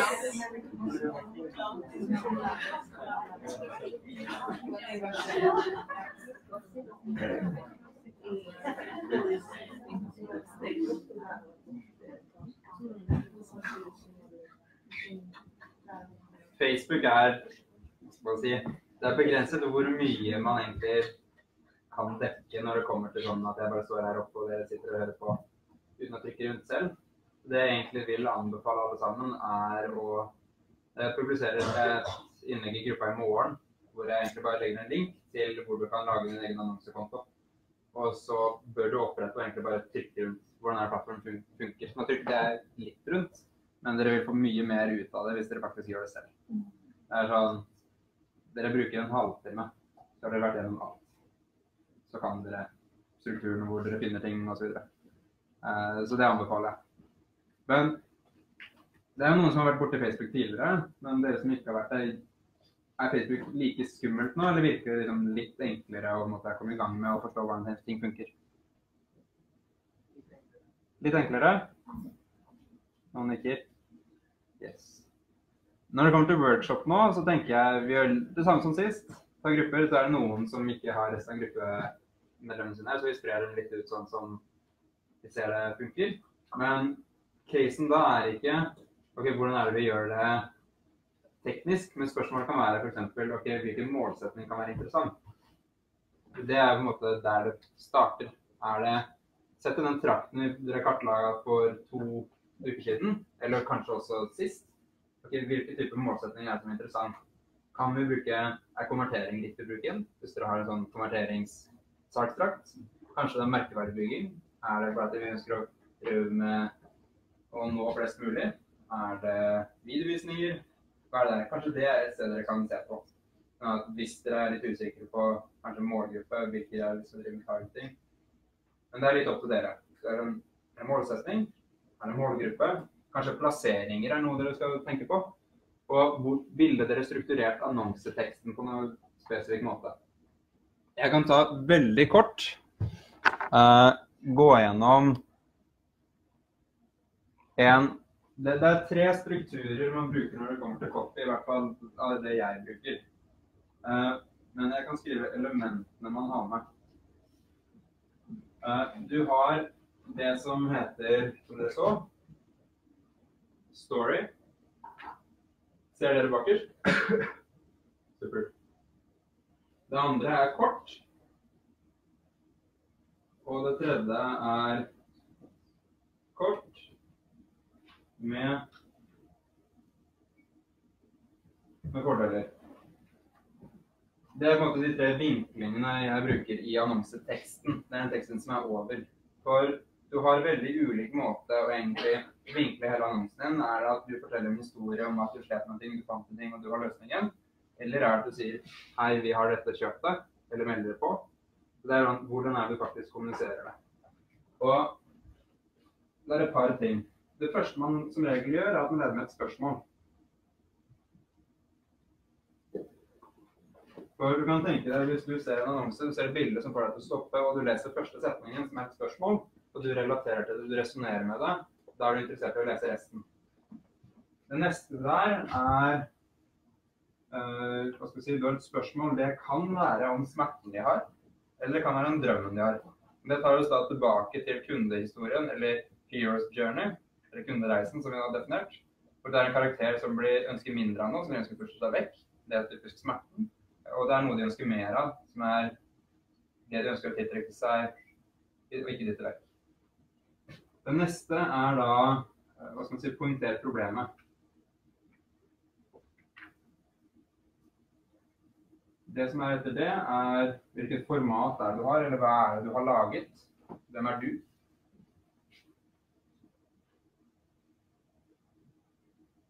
Eller hvem er dere? Fire, hva har du?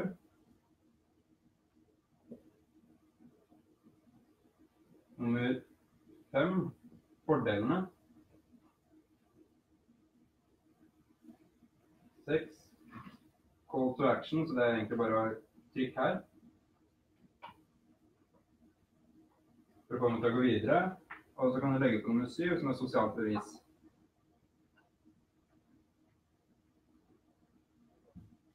Uh, og sosialt bevis er egentlig bare se til tidligere kundehistorier, så er det dette er tilbakemeldinger fra andre. Det er de typiske byggeblokkene man har i en annonsetekst. Du kan vinkle den mye mer drive det med long form, som er fort 13-14 punkter istedenfor. Egentlig går mye mer i dybden på din personlige historie, hvilke problemer du hadde, og hva du faktisk har som er nytt. Men det tar vi ikke her. Så vi gjør det enkelt. Det er de punktene. Dette er vinklingene. Story tar alt. Kort. Der har du spørsmål. Hva har du? Fordel Nei, skal vi se. Kort er spørsmål og call to action. Kort med fordeler er spørsmål. Hva har du? Fordelene og call to action. Men der vet dere, dere har dere punktene. Så tenker jeg vi sprer oss utover. Nå er det tavler litt rundt omkring. Prøver å få sånn ish syv-åtte gruppene. Så møtes vi tilbake om en halvtime. Ganske good? Jeg går rundt hvis det er noen spørsmål.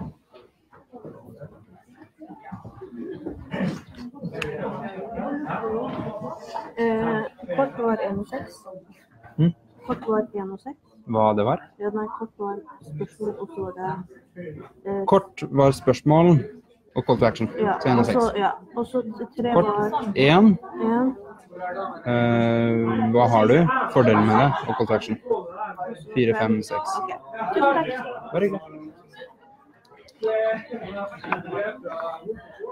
Skal vi se.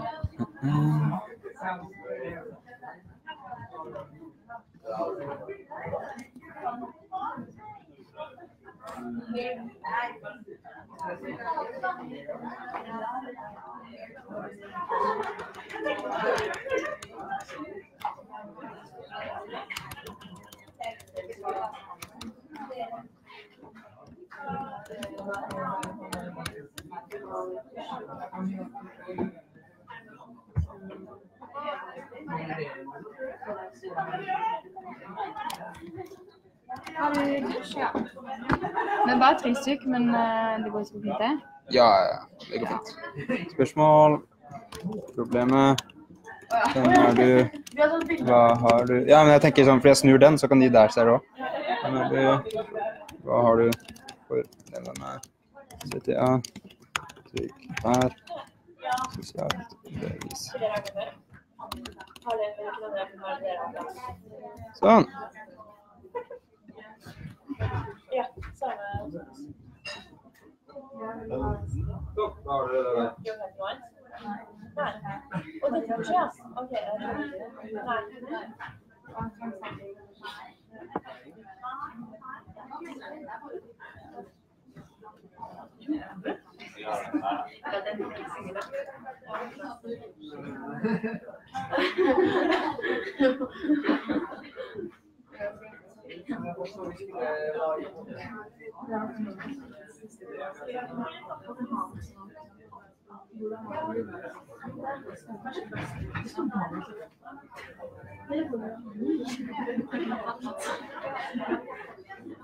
det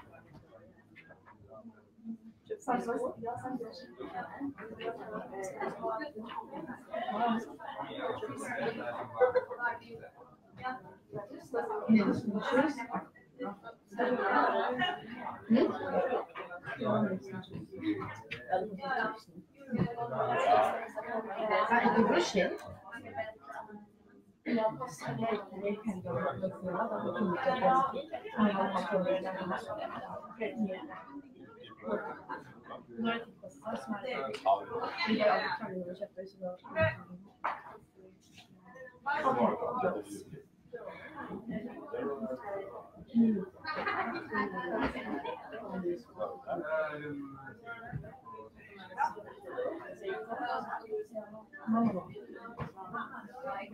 Er det vokser også.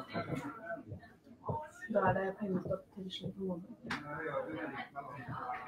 Hvordan skal vi gjøre det her, da?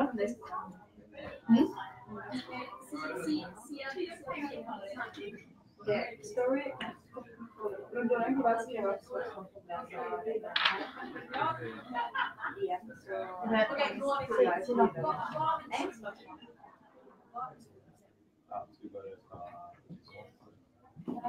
er jeg alltid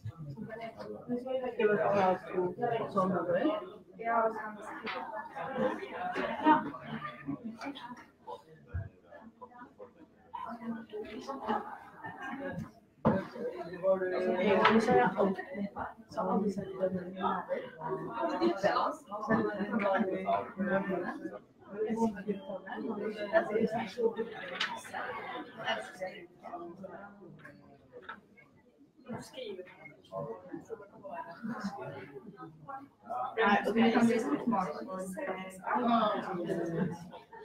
men jeg det, det vi hadde markedsføring på skolen. Vi elsket det, for da fikk vi lov å skrive. Vi fikk lov å skrive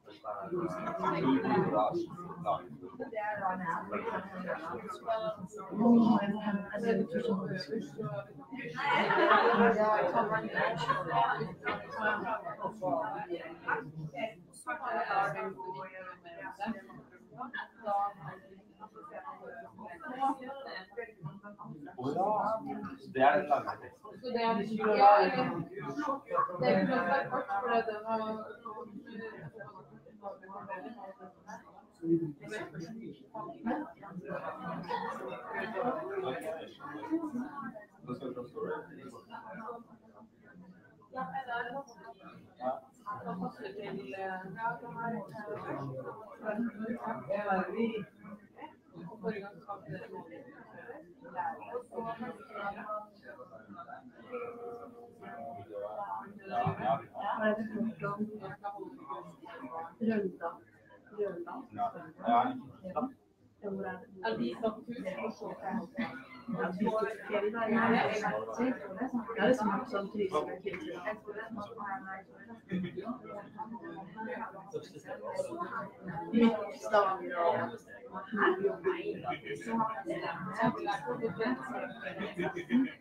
Hånden, liksom?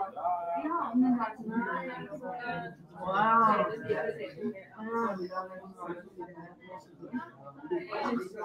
Jo,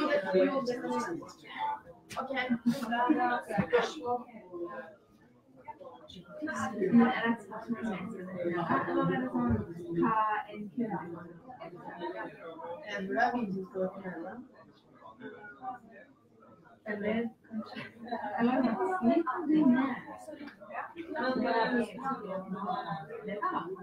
jo,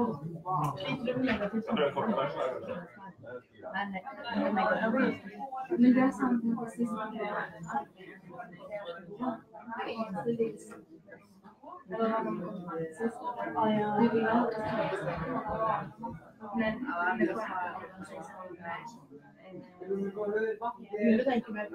det er bare sånn. Jeg mener? Det er er konstant. Har du angst, liksom? Og så er det sånn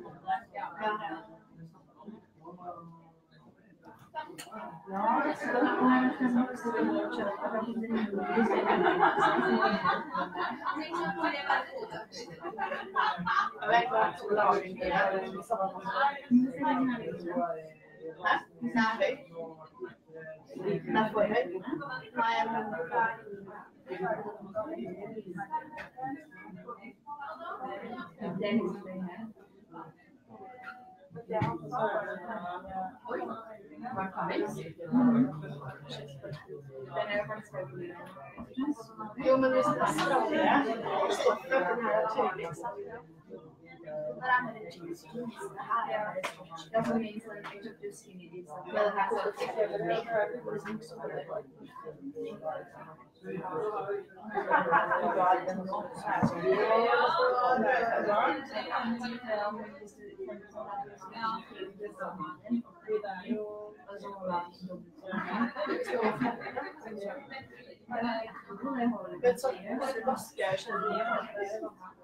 Ja,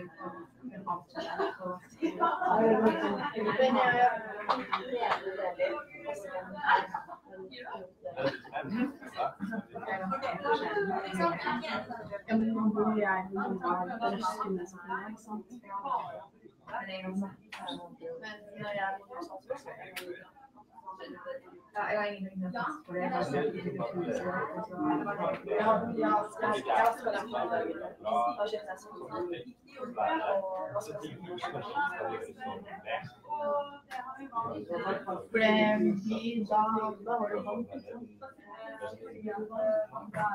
Ja.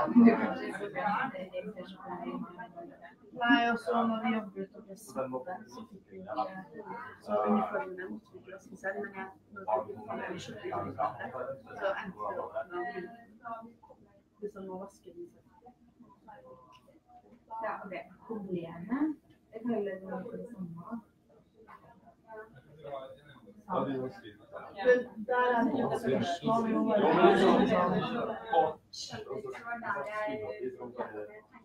Da kan man liksom skrive at problemet er negativt. Ja, det var et spørsmål. Den er Ja, det, det. Men det er liksom det du er inne Nei, det burde jeg. Og var det ikke den siste du har sett var? CCA? Var ikke det med Wow, så den har ikke sånn call to action? Men jeg kom på Ja, jeg tror det. Ja.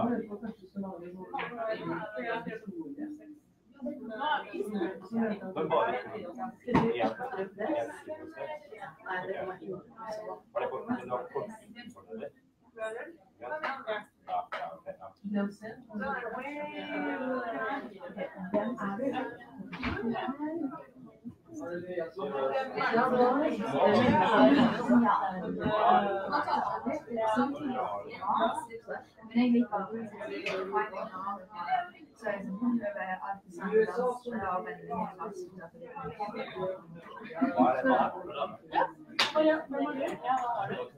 Jeg tror han sa først det. Men man ser det så Hva skal være internett?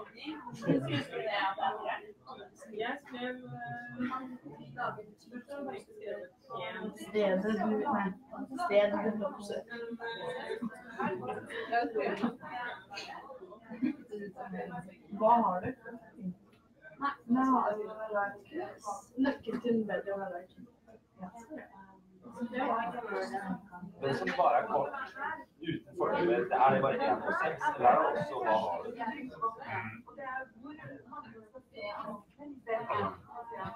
er jo på en måte fasit som skriver. Men det burde jo ha noen bare til av det du har.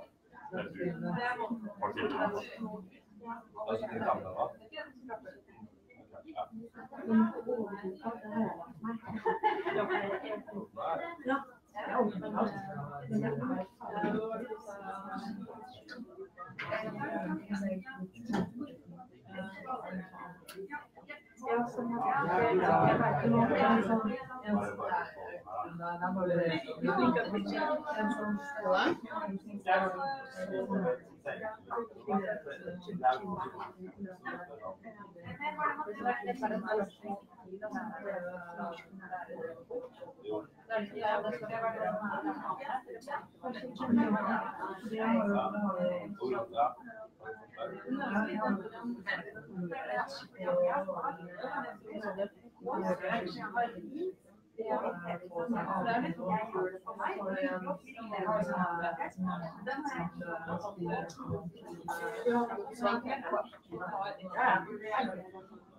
hva er fordelene? Nei, det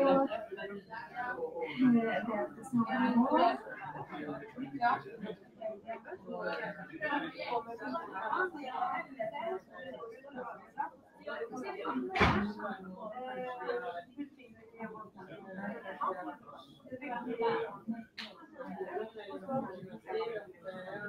Positiv tenkning?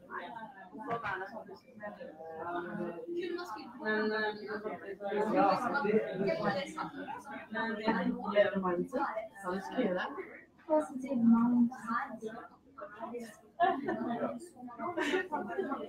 Não deve. Não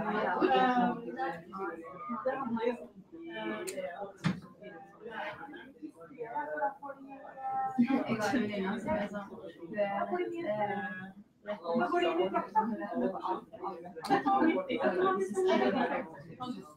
Jo, men mange engelskord er jo på norsk. På engelsk. Ja, Nesten alle.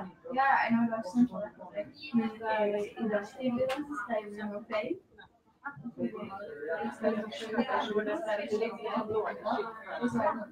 tror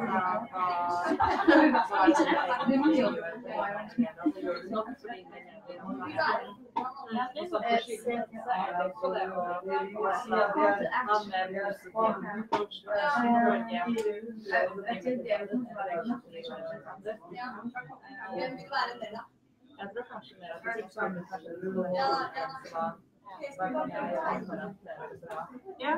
Altså, At at det kan være Jeg kjenner så jeg har veldig Eller så litt sånn kan altså, Gjør du nok i det der, så kan du gjøre mer for å bidra til at det blir en bedre hverdag.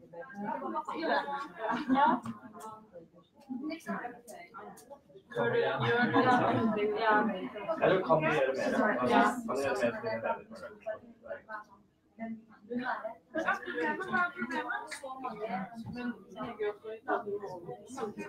Kan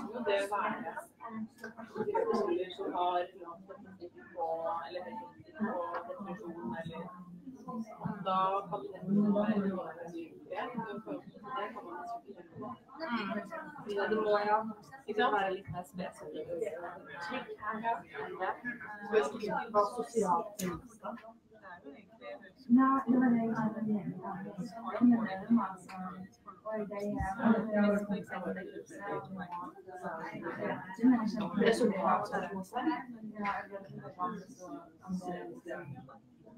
det ja. Ja. enn det. Er jo. Nei, det var det jeg Det tenker jeg kan jo være hvis vi vet ikke om det. At det er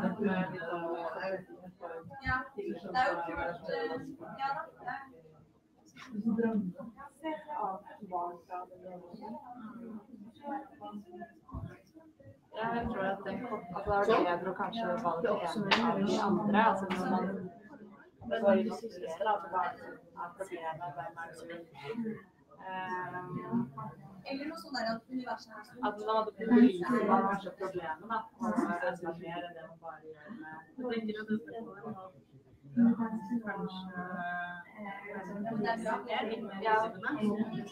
Det er er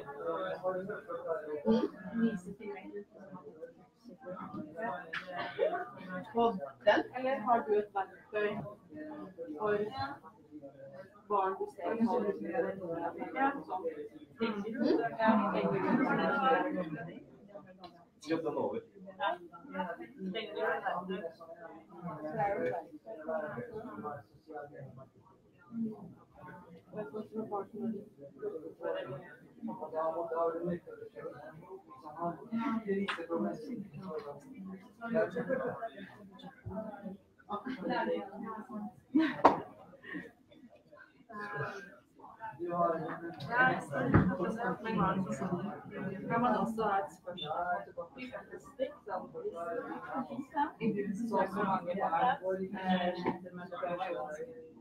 sånn. Sånn eh, sånn, hva har du.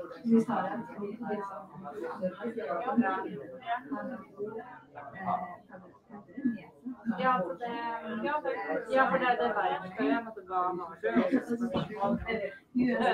Når man bare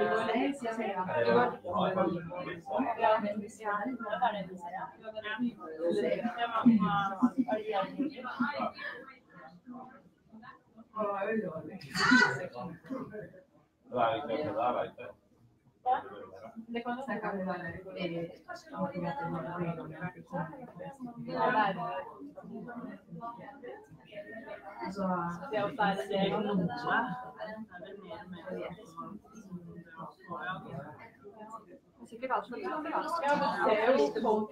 Foreldre vet man snakker om mål.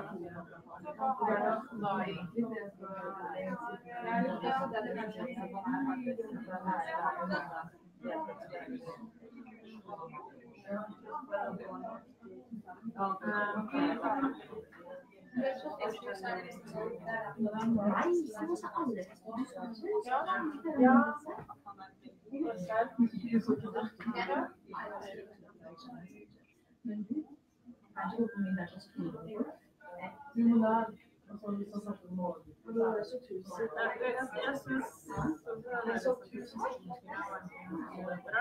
er. Men for igjen det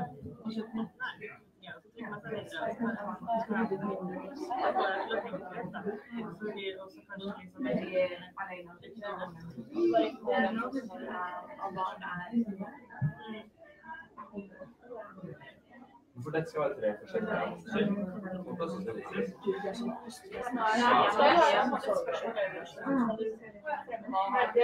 Ja, så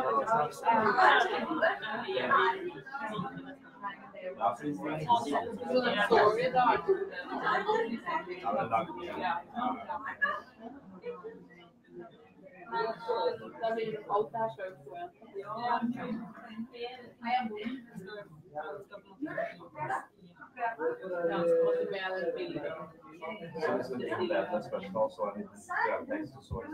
da. Har vi måte utdypet det de vanligste spørsmålene.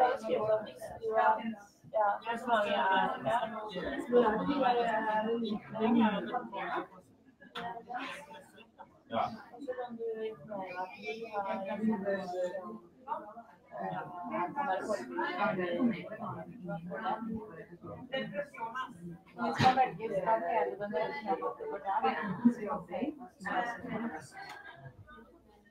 Altså spørsmål Ja, det er om hvor Altså man er så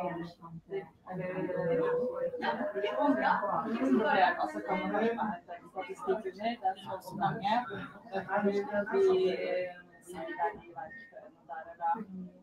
Derfor vil vi si det er de verktøyene der og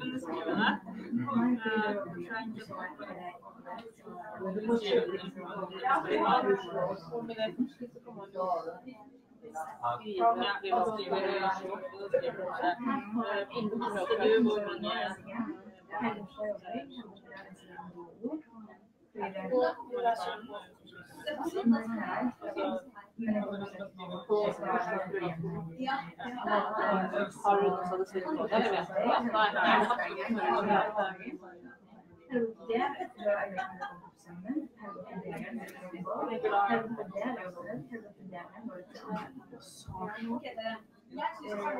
statistikk på det?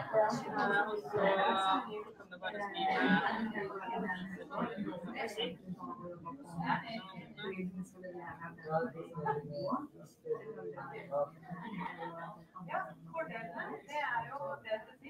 Nei, nei.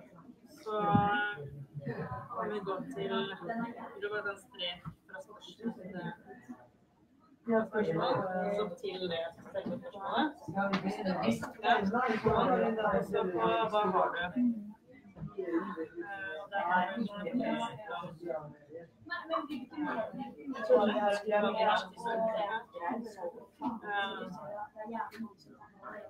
Statistikk skal være spørsmålet. Ja. Ok.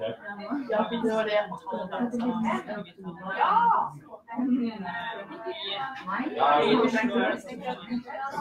det er så verst, da. Det blir sikkert langt, da. Det er sånn. Dette er en korteste biten, ikke sant? Annonse. Det samtidig så skal jo dette her for at alle skal liksom jobbe med Ja. Det er jo vanskelig å gjøre det eh, veldig kort. Sånn at det Det er sikkert derfor man har flere forskjellige, da. Det er sikkert et par som er Så ser du det liksom litt. Men hva er det nå? Jeg skal passe med å snakke om Ja, det er kanskje kanskje lage sånn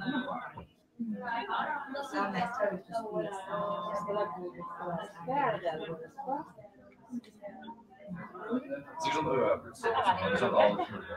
Ja, vi vet jo egentlig ikke. Vi kan se på det. Ja. Så vi snakket om det her at du faller. Ja.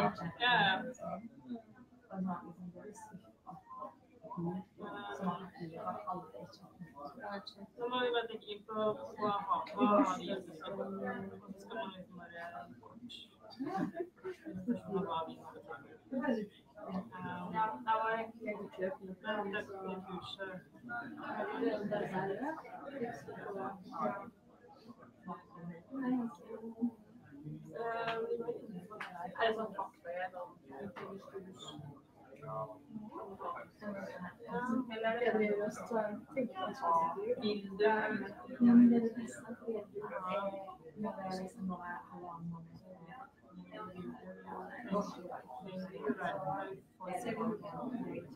vi vi det men det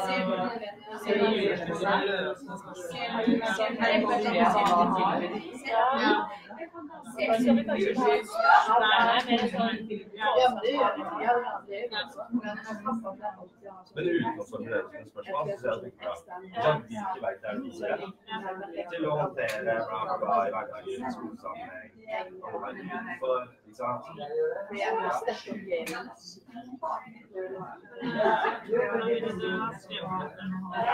Bare skriv opp med forskjellige sammenhenger.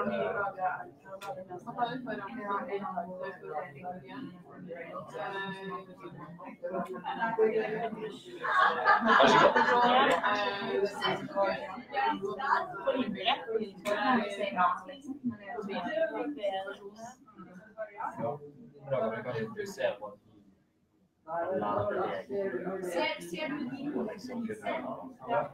Som forebygger, på måte. Ja. Ja, både viten og også mer kanskje analysere. Men det er alt som sikkert kan forebygge oppdage, oppdage og komme Men vet vi, er det altså Er det resultatbasert? Er det. Vi vet jo ikke så mye om det. Nei, vi vet ikke om det, så du må gjette.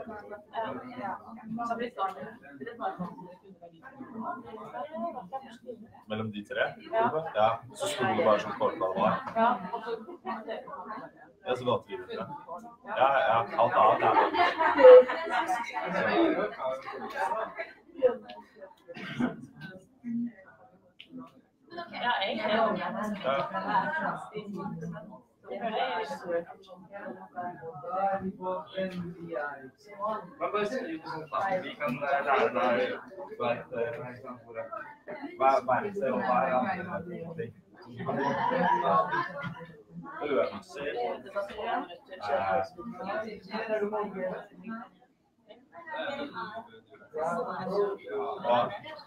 som i hvert fall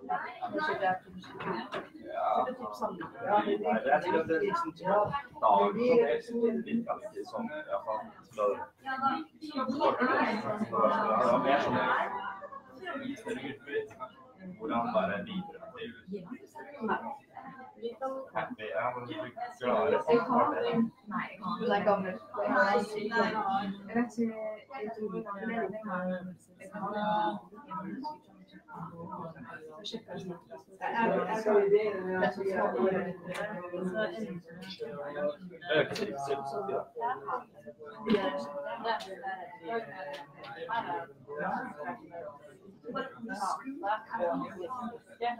hvor det.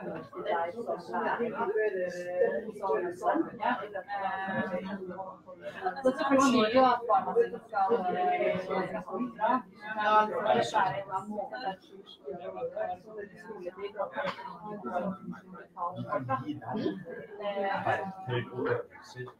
Om man jeg vet ikke, det er det liksom Men om man skulle det Ja, ja, Man blir jo litt glad til de barna. Eh, Og når man da ser Nei, nei, men jeg vil ikke være så intenst. Så jeg må bare ønsker jo å gjøre noe med det, så er det jo veldig Verktøy og øvelser. Nei, vi kan kjenne oss inn i den dialogen der. Men det er bare følelsen. Kan være man har forsøkt å. Jeg liker å se Jeg liker historier. Er sånn bare Ja, men men du slipper ikke jævlig. Men men dette er bare én ting. Du har jo sånn syv sånn her. Sånn den ikke funker. er det sånn. Er negativt. Er negativt. Jeg klarer ikke å være helt så blendende.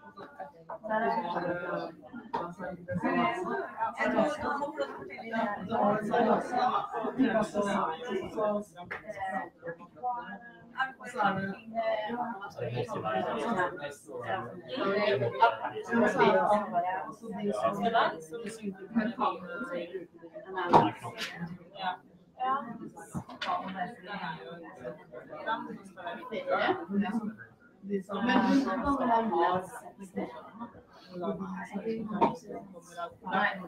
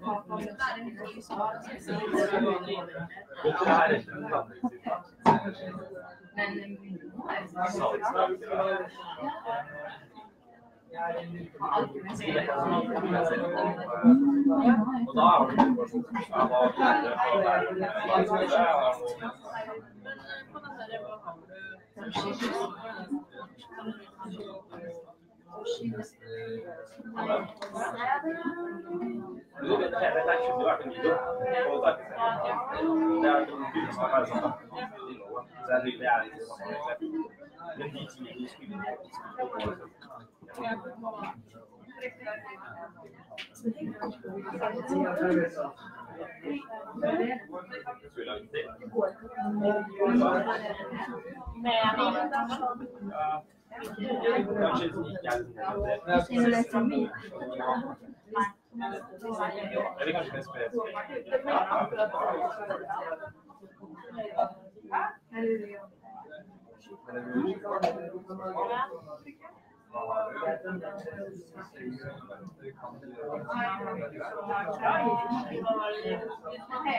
Ele é bem, bem, bem, Agora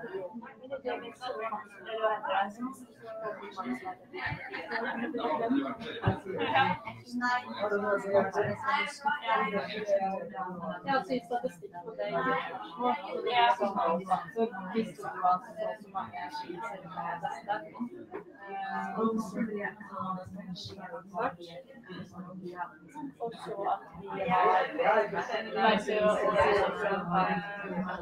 vou.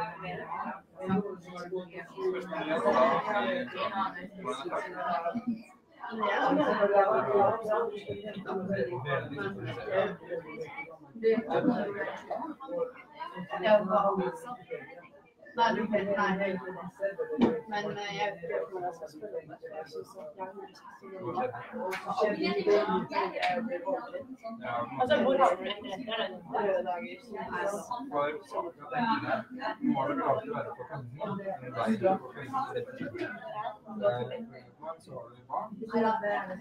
Klara sa det to millioner kroner. Gracias.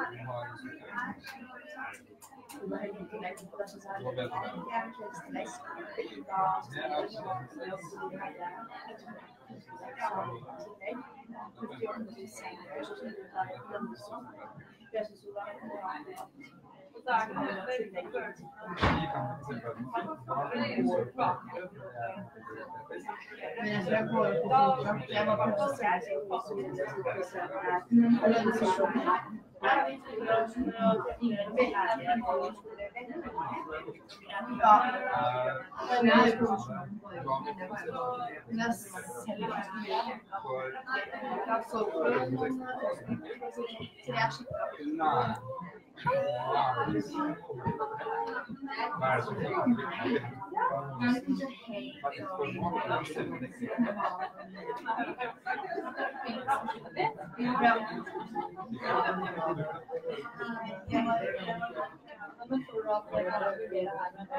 Men litt Ja, det er jo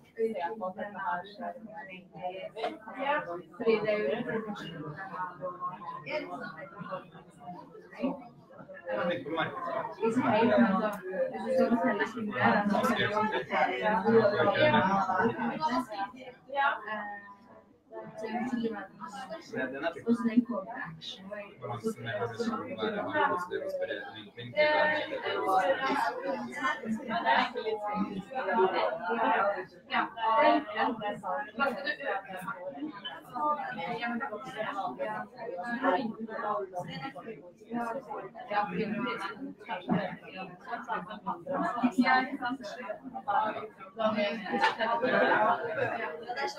ja, Guarda,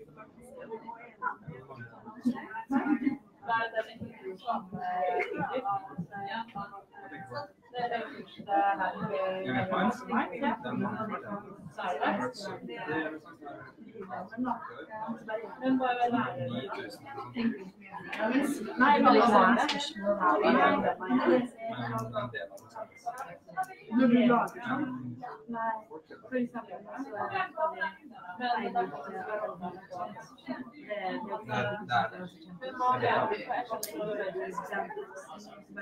er må Men bare lære 9000. Nei, bare lære det. Er det? Jeg er mener praksis og den teorien er jo helt.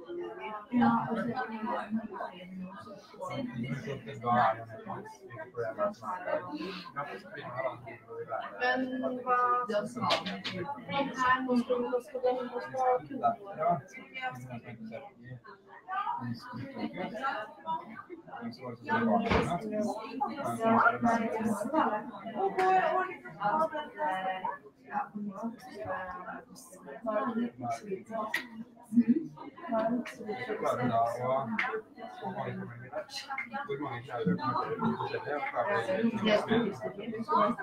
Yes, er. Ja,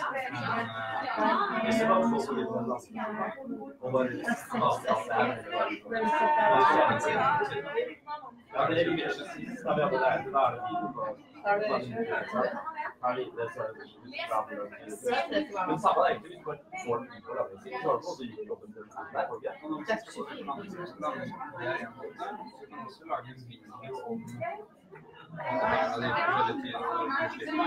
Ja, du. Men eh, det kan være det kan være sånn. Hvis du bry- bryter enda mer så fokuserer du heller på her hvordan du skal få folk til å Ja,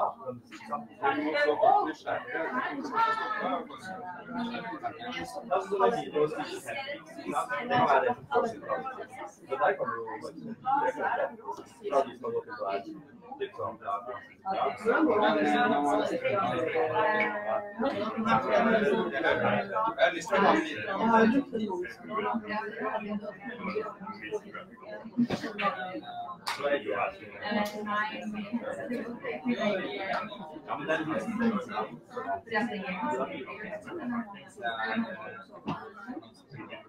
Ja, ja.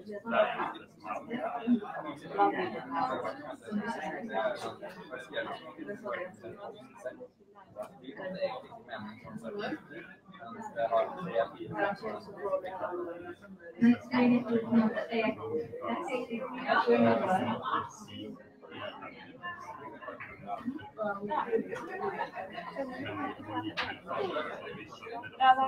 er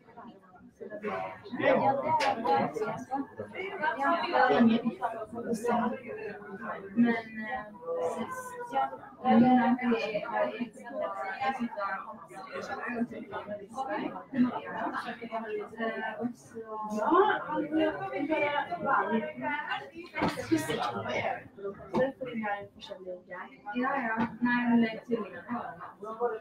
Sara, mora ja,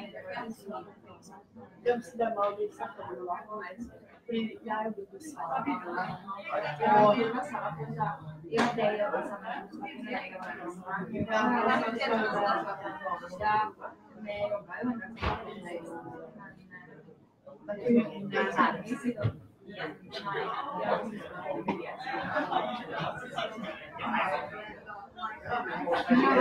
en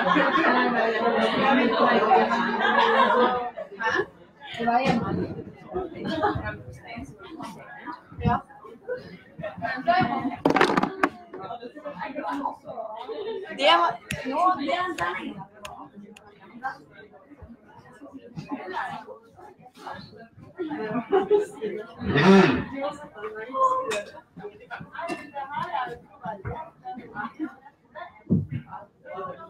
Thank you.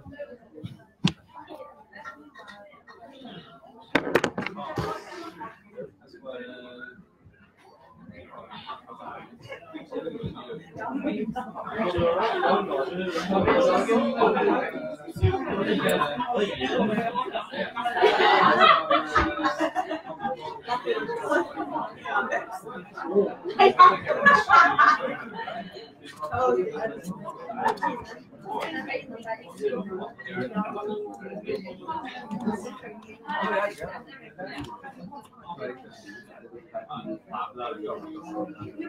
I'm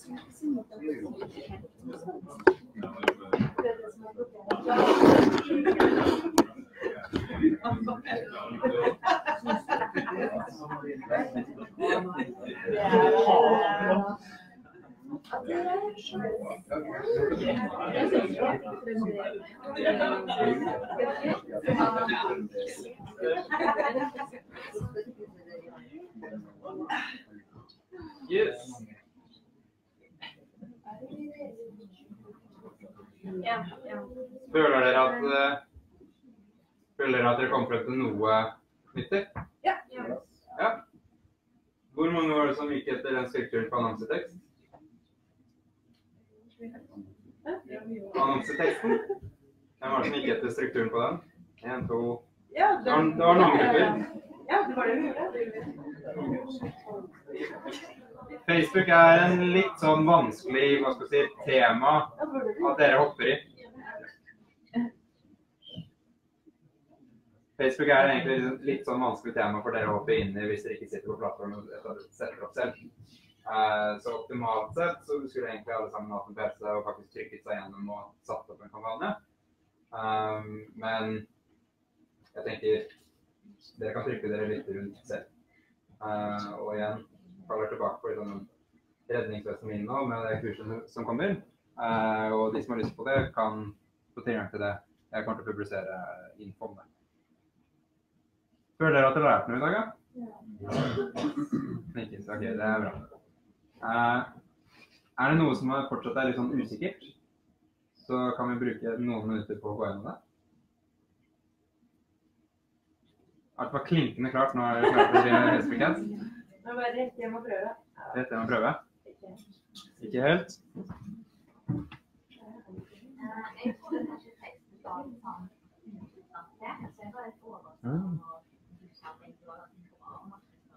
Mm.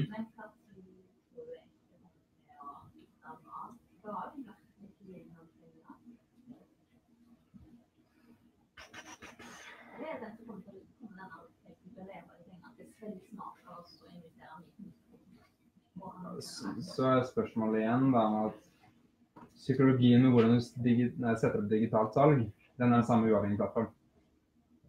Så om du bruker Google, om du bruker Facebook, om du bruker YouTube, Snapchat, Insta, Insta og Facebook, um, den strukturen på hvordan det syr sammen er på en måte det samme. Det eneste spørsmålet er om du klarer å få Facebook til å bli lønnsomt. For prisene har økt betraktelig siden jeg startet med det. Det sånn sikkert dobling siden jeg starta. Men så er det spørsmålet også definisjon på hva vil all-in si.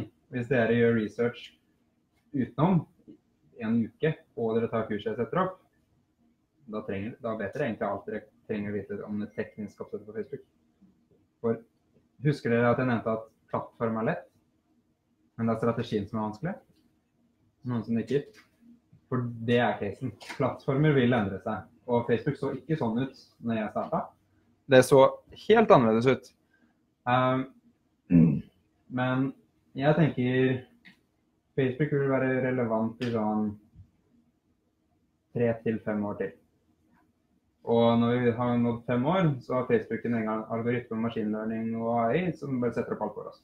Vi har allerede laget den første versjonen av det. Hvis du driver nettbutikk og bruker så og så mye budsjett, så kan de rulle ut etter kontoen din. og Da trykker du bare 'opprett annonse', så velger de målsetning, de oppretter kampanjen, de velger målgruppe, hvilket produkt, de lager teksten og alt eh, automatisk.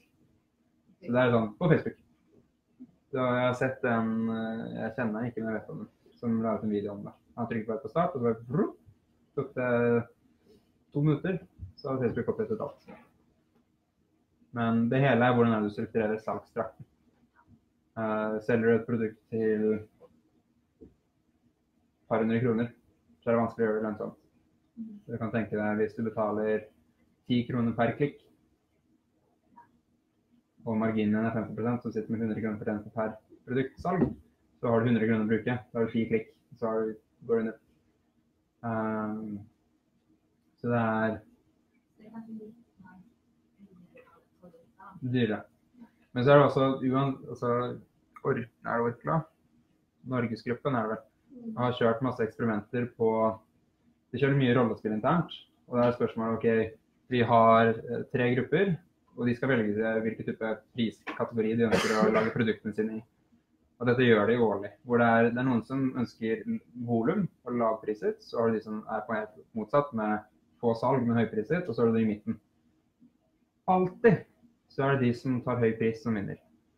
Uansett. For du kan tenke deg hvis du har tigangen i margin av det de konkurrentene dine på bunnen har. Ja, du vil gå mot et helt annet segment, men du kan bruke mye mer penger i annonsering hvis du tar høy pris. Eh, så det er på en måte én ting. Eh, men hvis det er sånn én anbefaling skal komme, så er det lær psykologien og strukturen i hvordan en salgsdrakt digitalt er satt opp og fungerer. Lær sånn, de psykologiske triggerne man kan touche på, og hvordan er det man får folk til å ta den neste handlingen, og så den neste, og så den neste. Så når det gjelder det, så er det uavhengig av hvilken plattform du bruker. Noen andre spørsmål?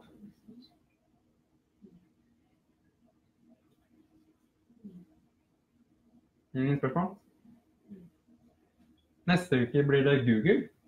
Det er ganske rett frem. Det er enda lettere enn Facebook. Det er sånn Du lærer alt egentlig på en kveld. Men vi skal ta for oss Google søk. Ikke display, ikke banner, ikke YouTube, men søk. Så du er sånn Du kan rette på meg neste uke. Nei, nei, nei. uh, men Google neste uke, så Jeg har bare et spørsmål forresten angående det med Facebook. ikke sant? Hvis jeg lager den annonsen og lager det da, putter inn alt det der som vi lærte, lærte mm. Og, og da vil det også komme på Instagram. Fordi Facebook eier Instagram. En av plasseringene på annonsering på Facebook er Instagram. Og man kan velge det i den. Du kan velge at du skal ha det eller ikke ha det. Ok. Ok. Yes, og Google neste uke. Uh, hjemmelekse, hvis dere skal, hvis dere skal nå det, så er egentlig bare registrere en bruker- og annonsekonto på Facebook.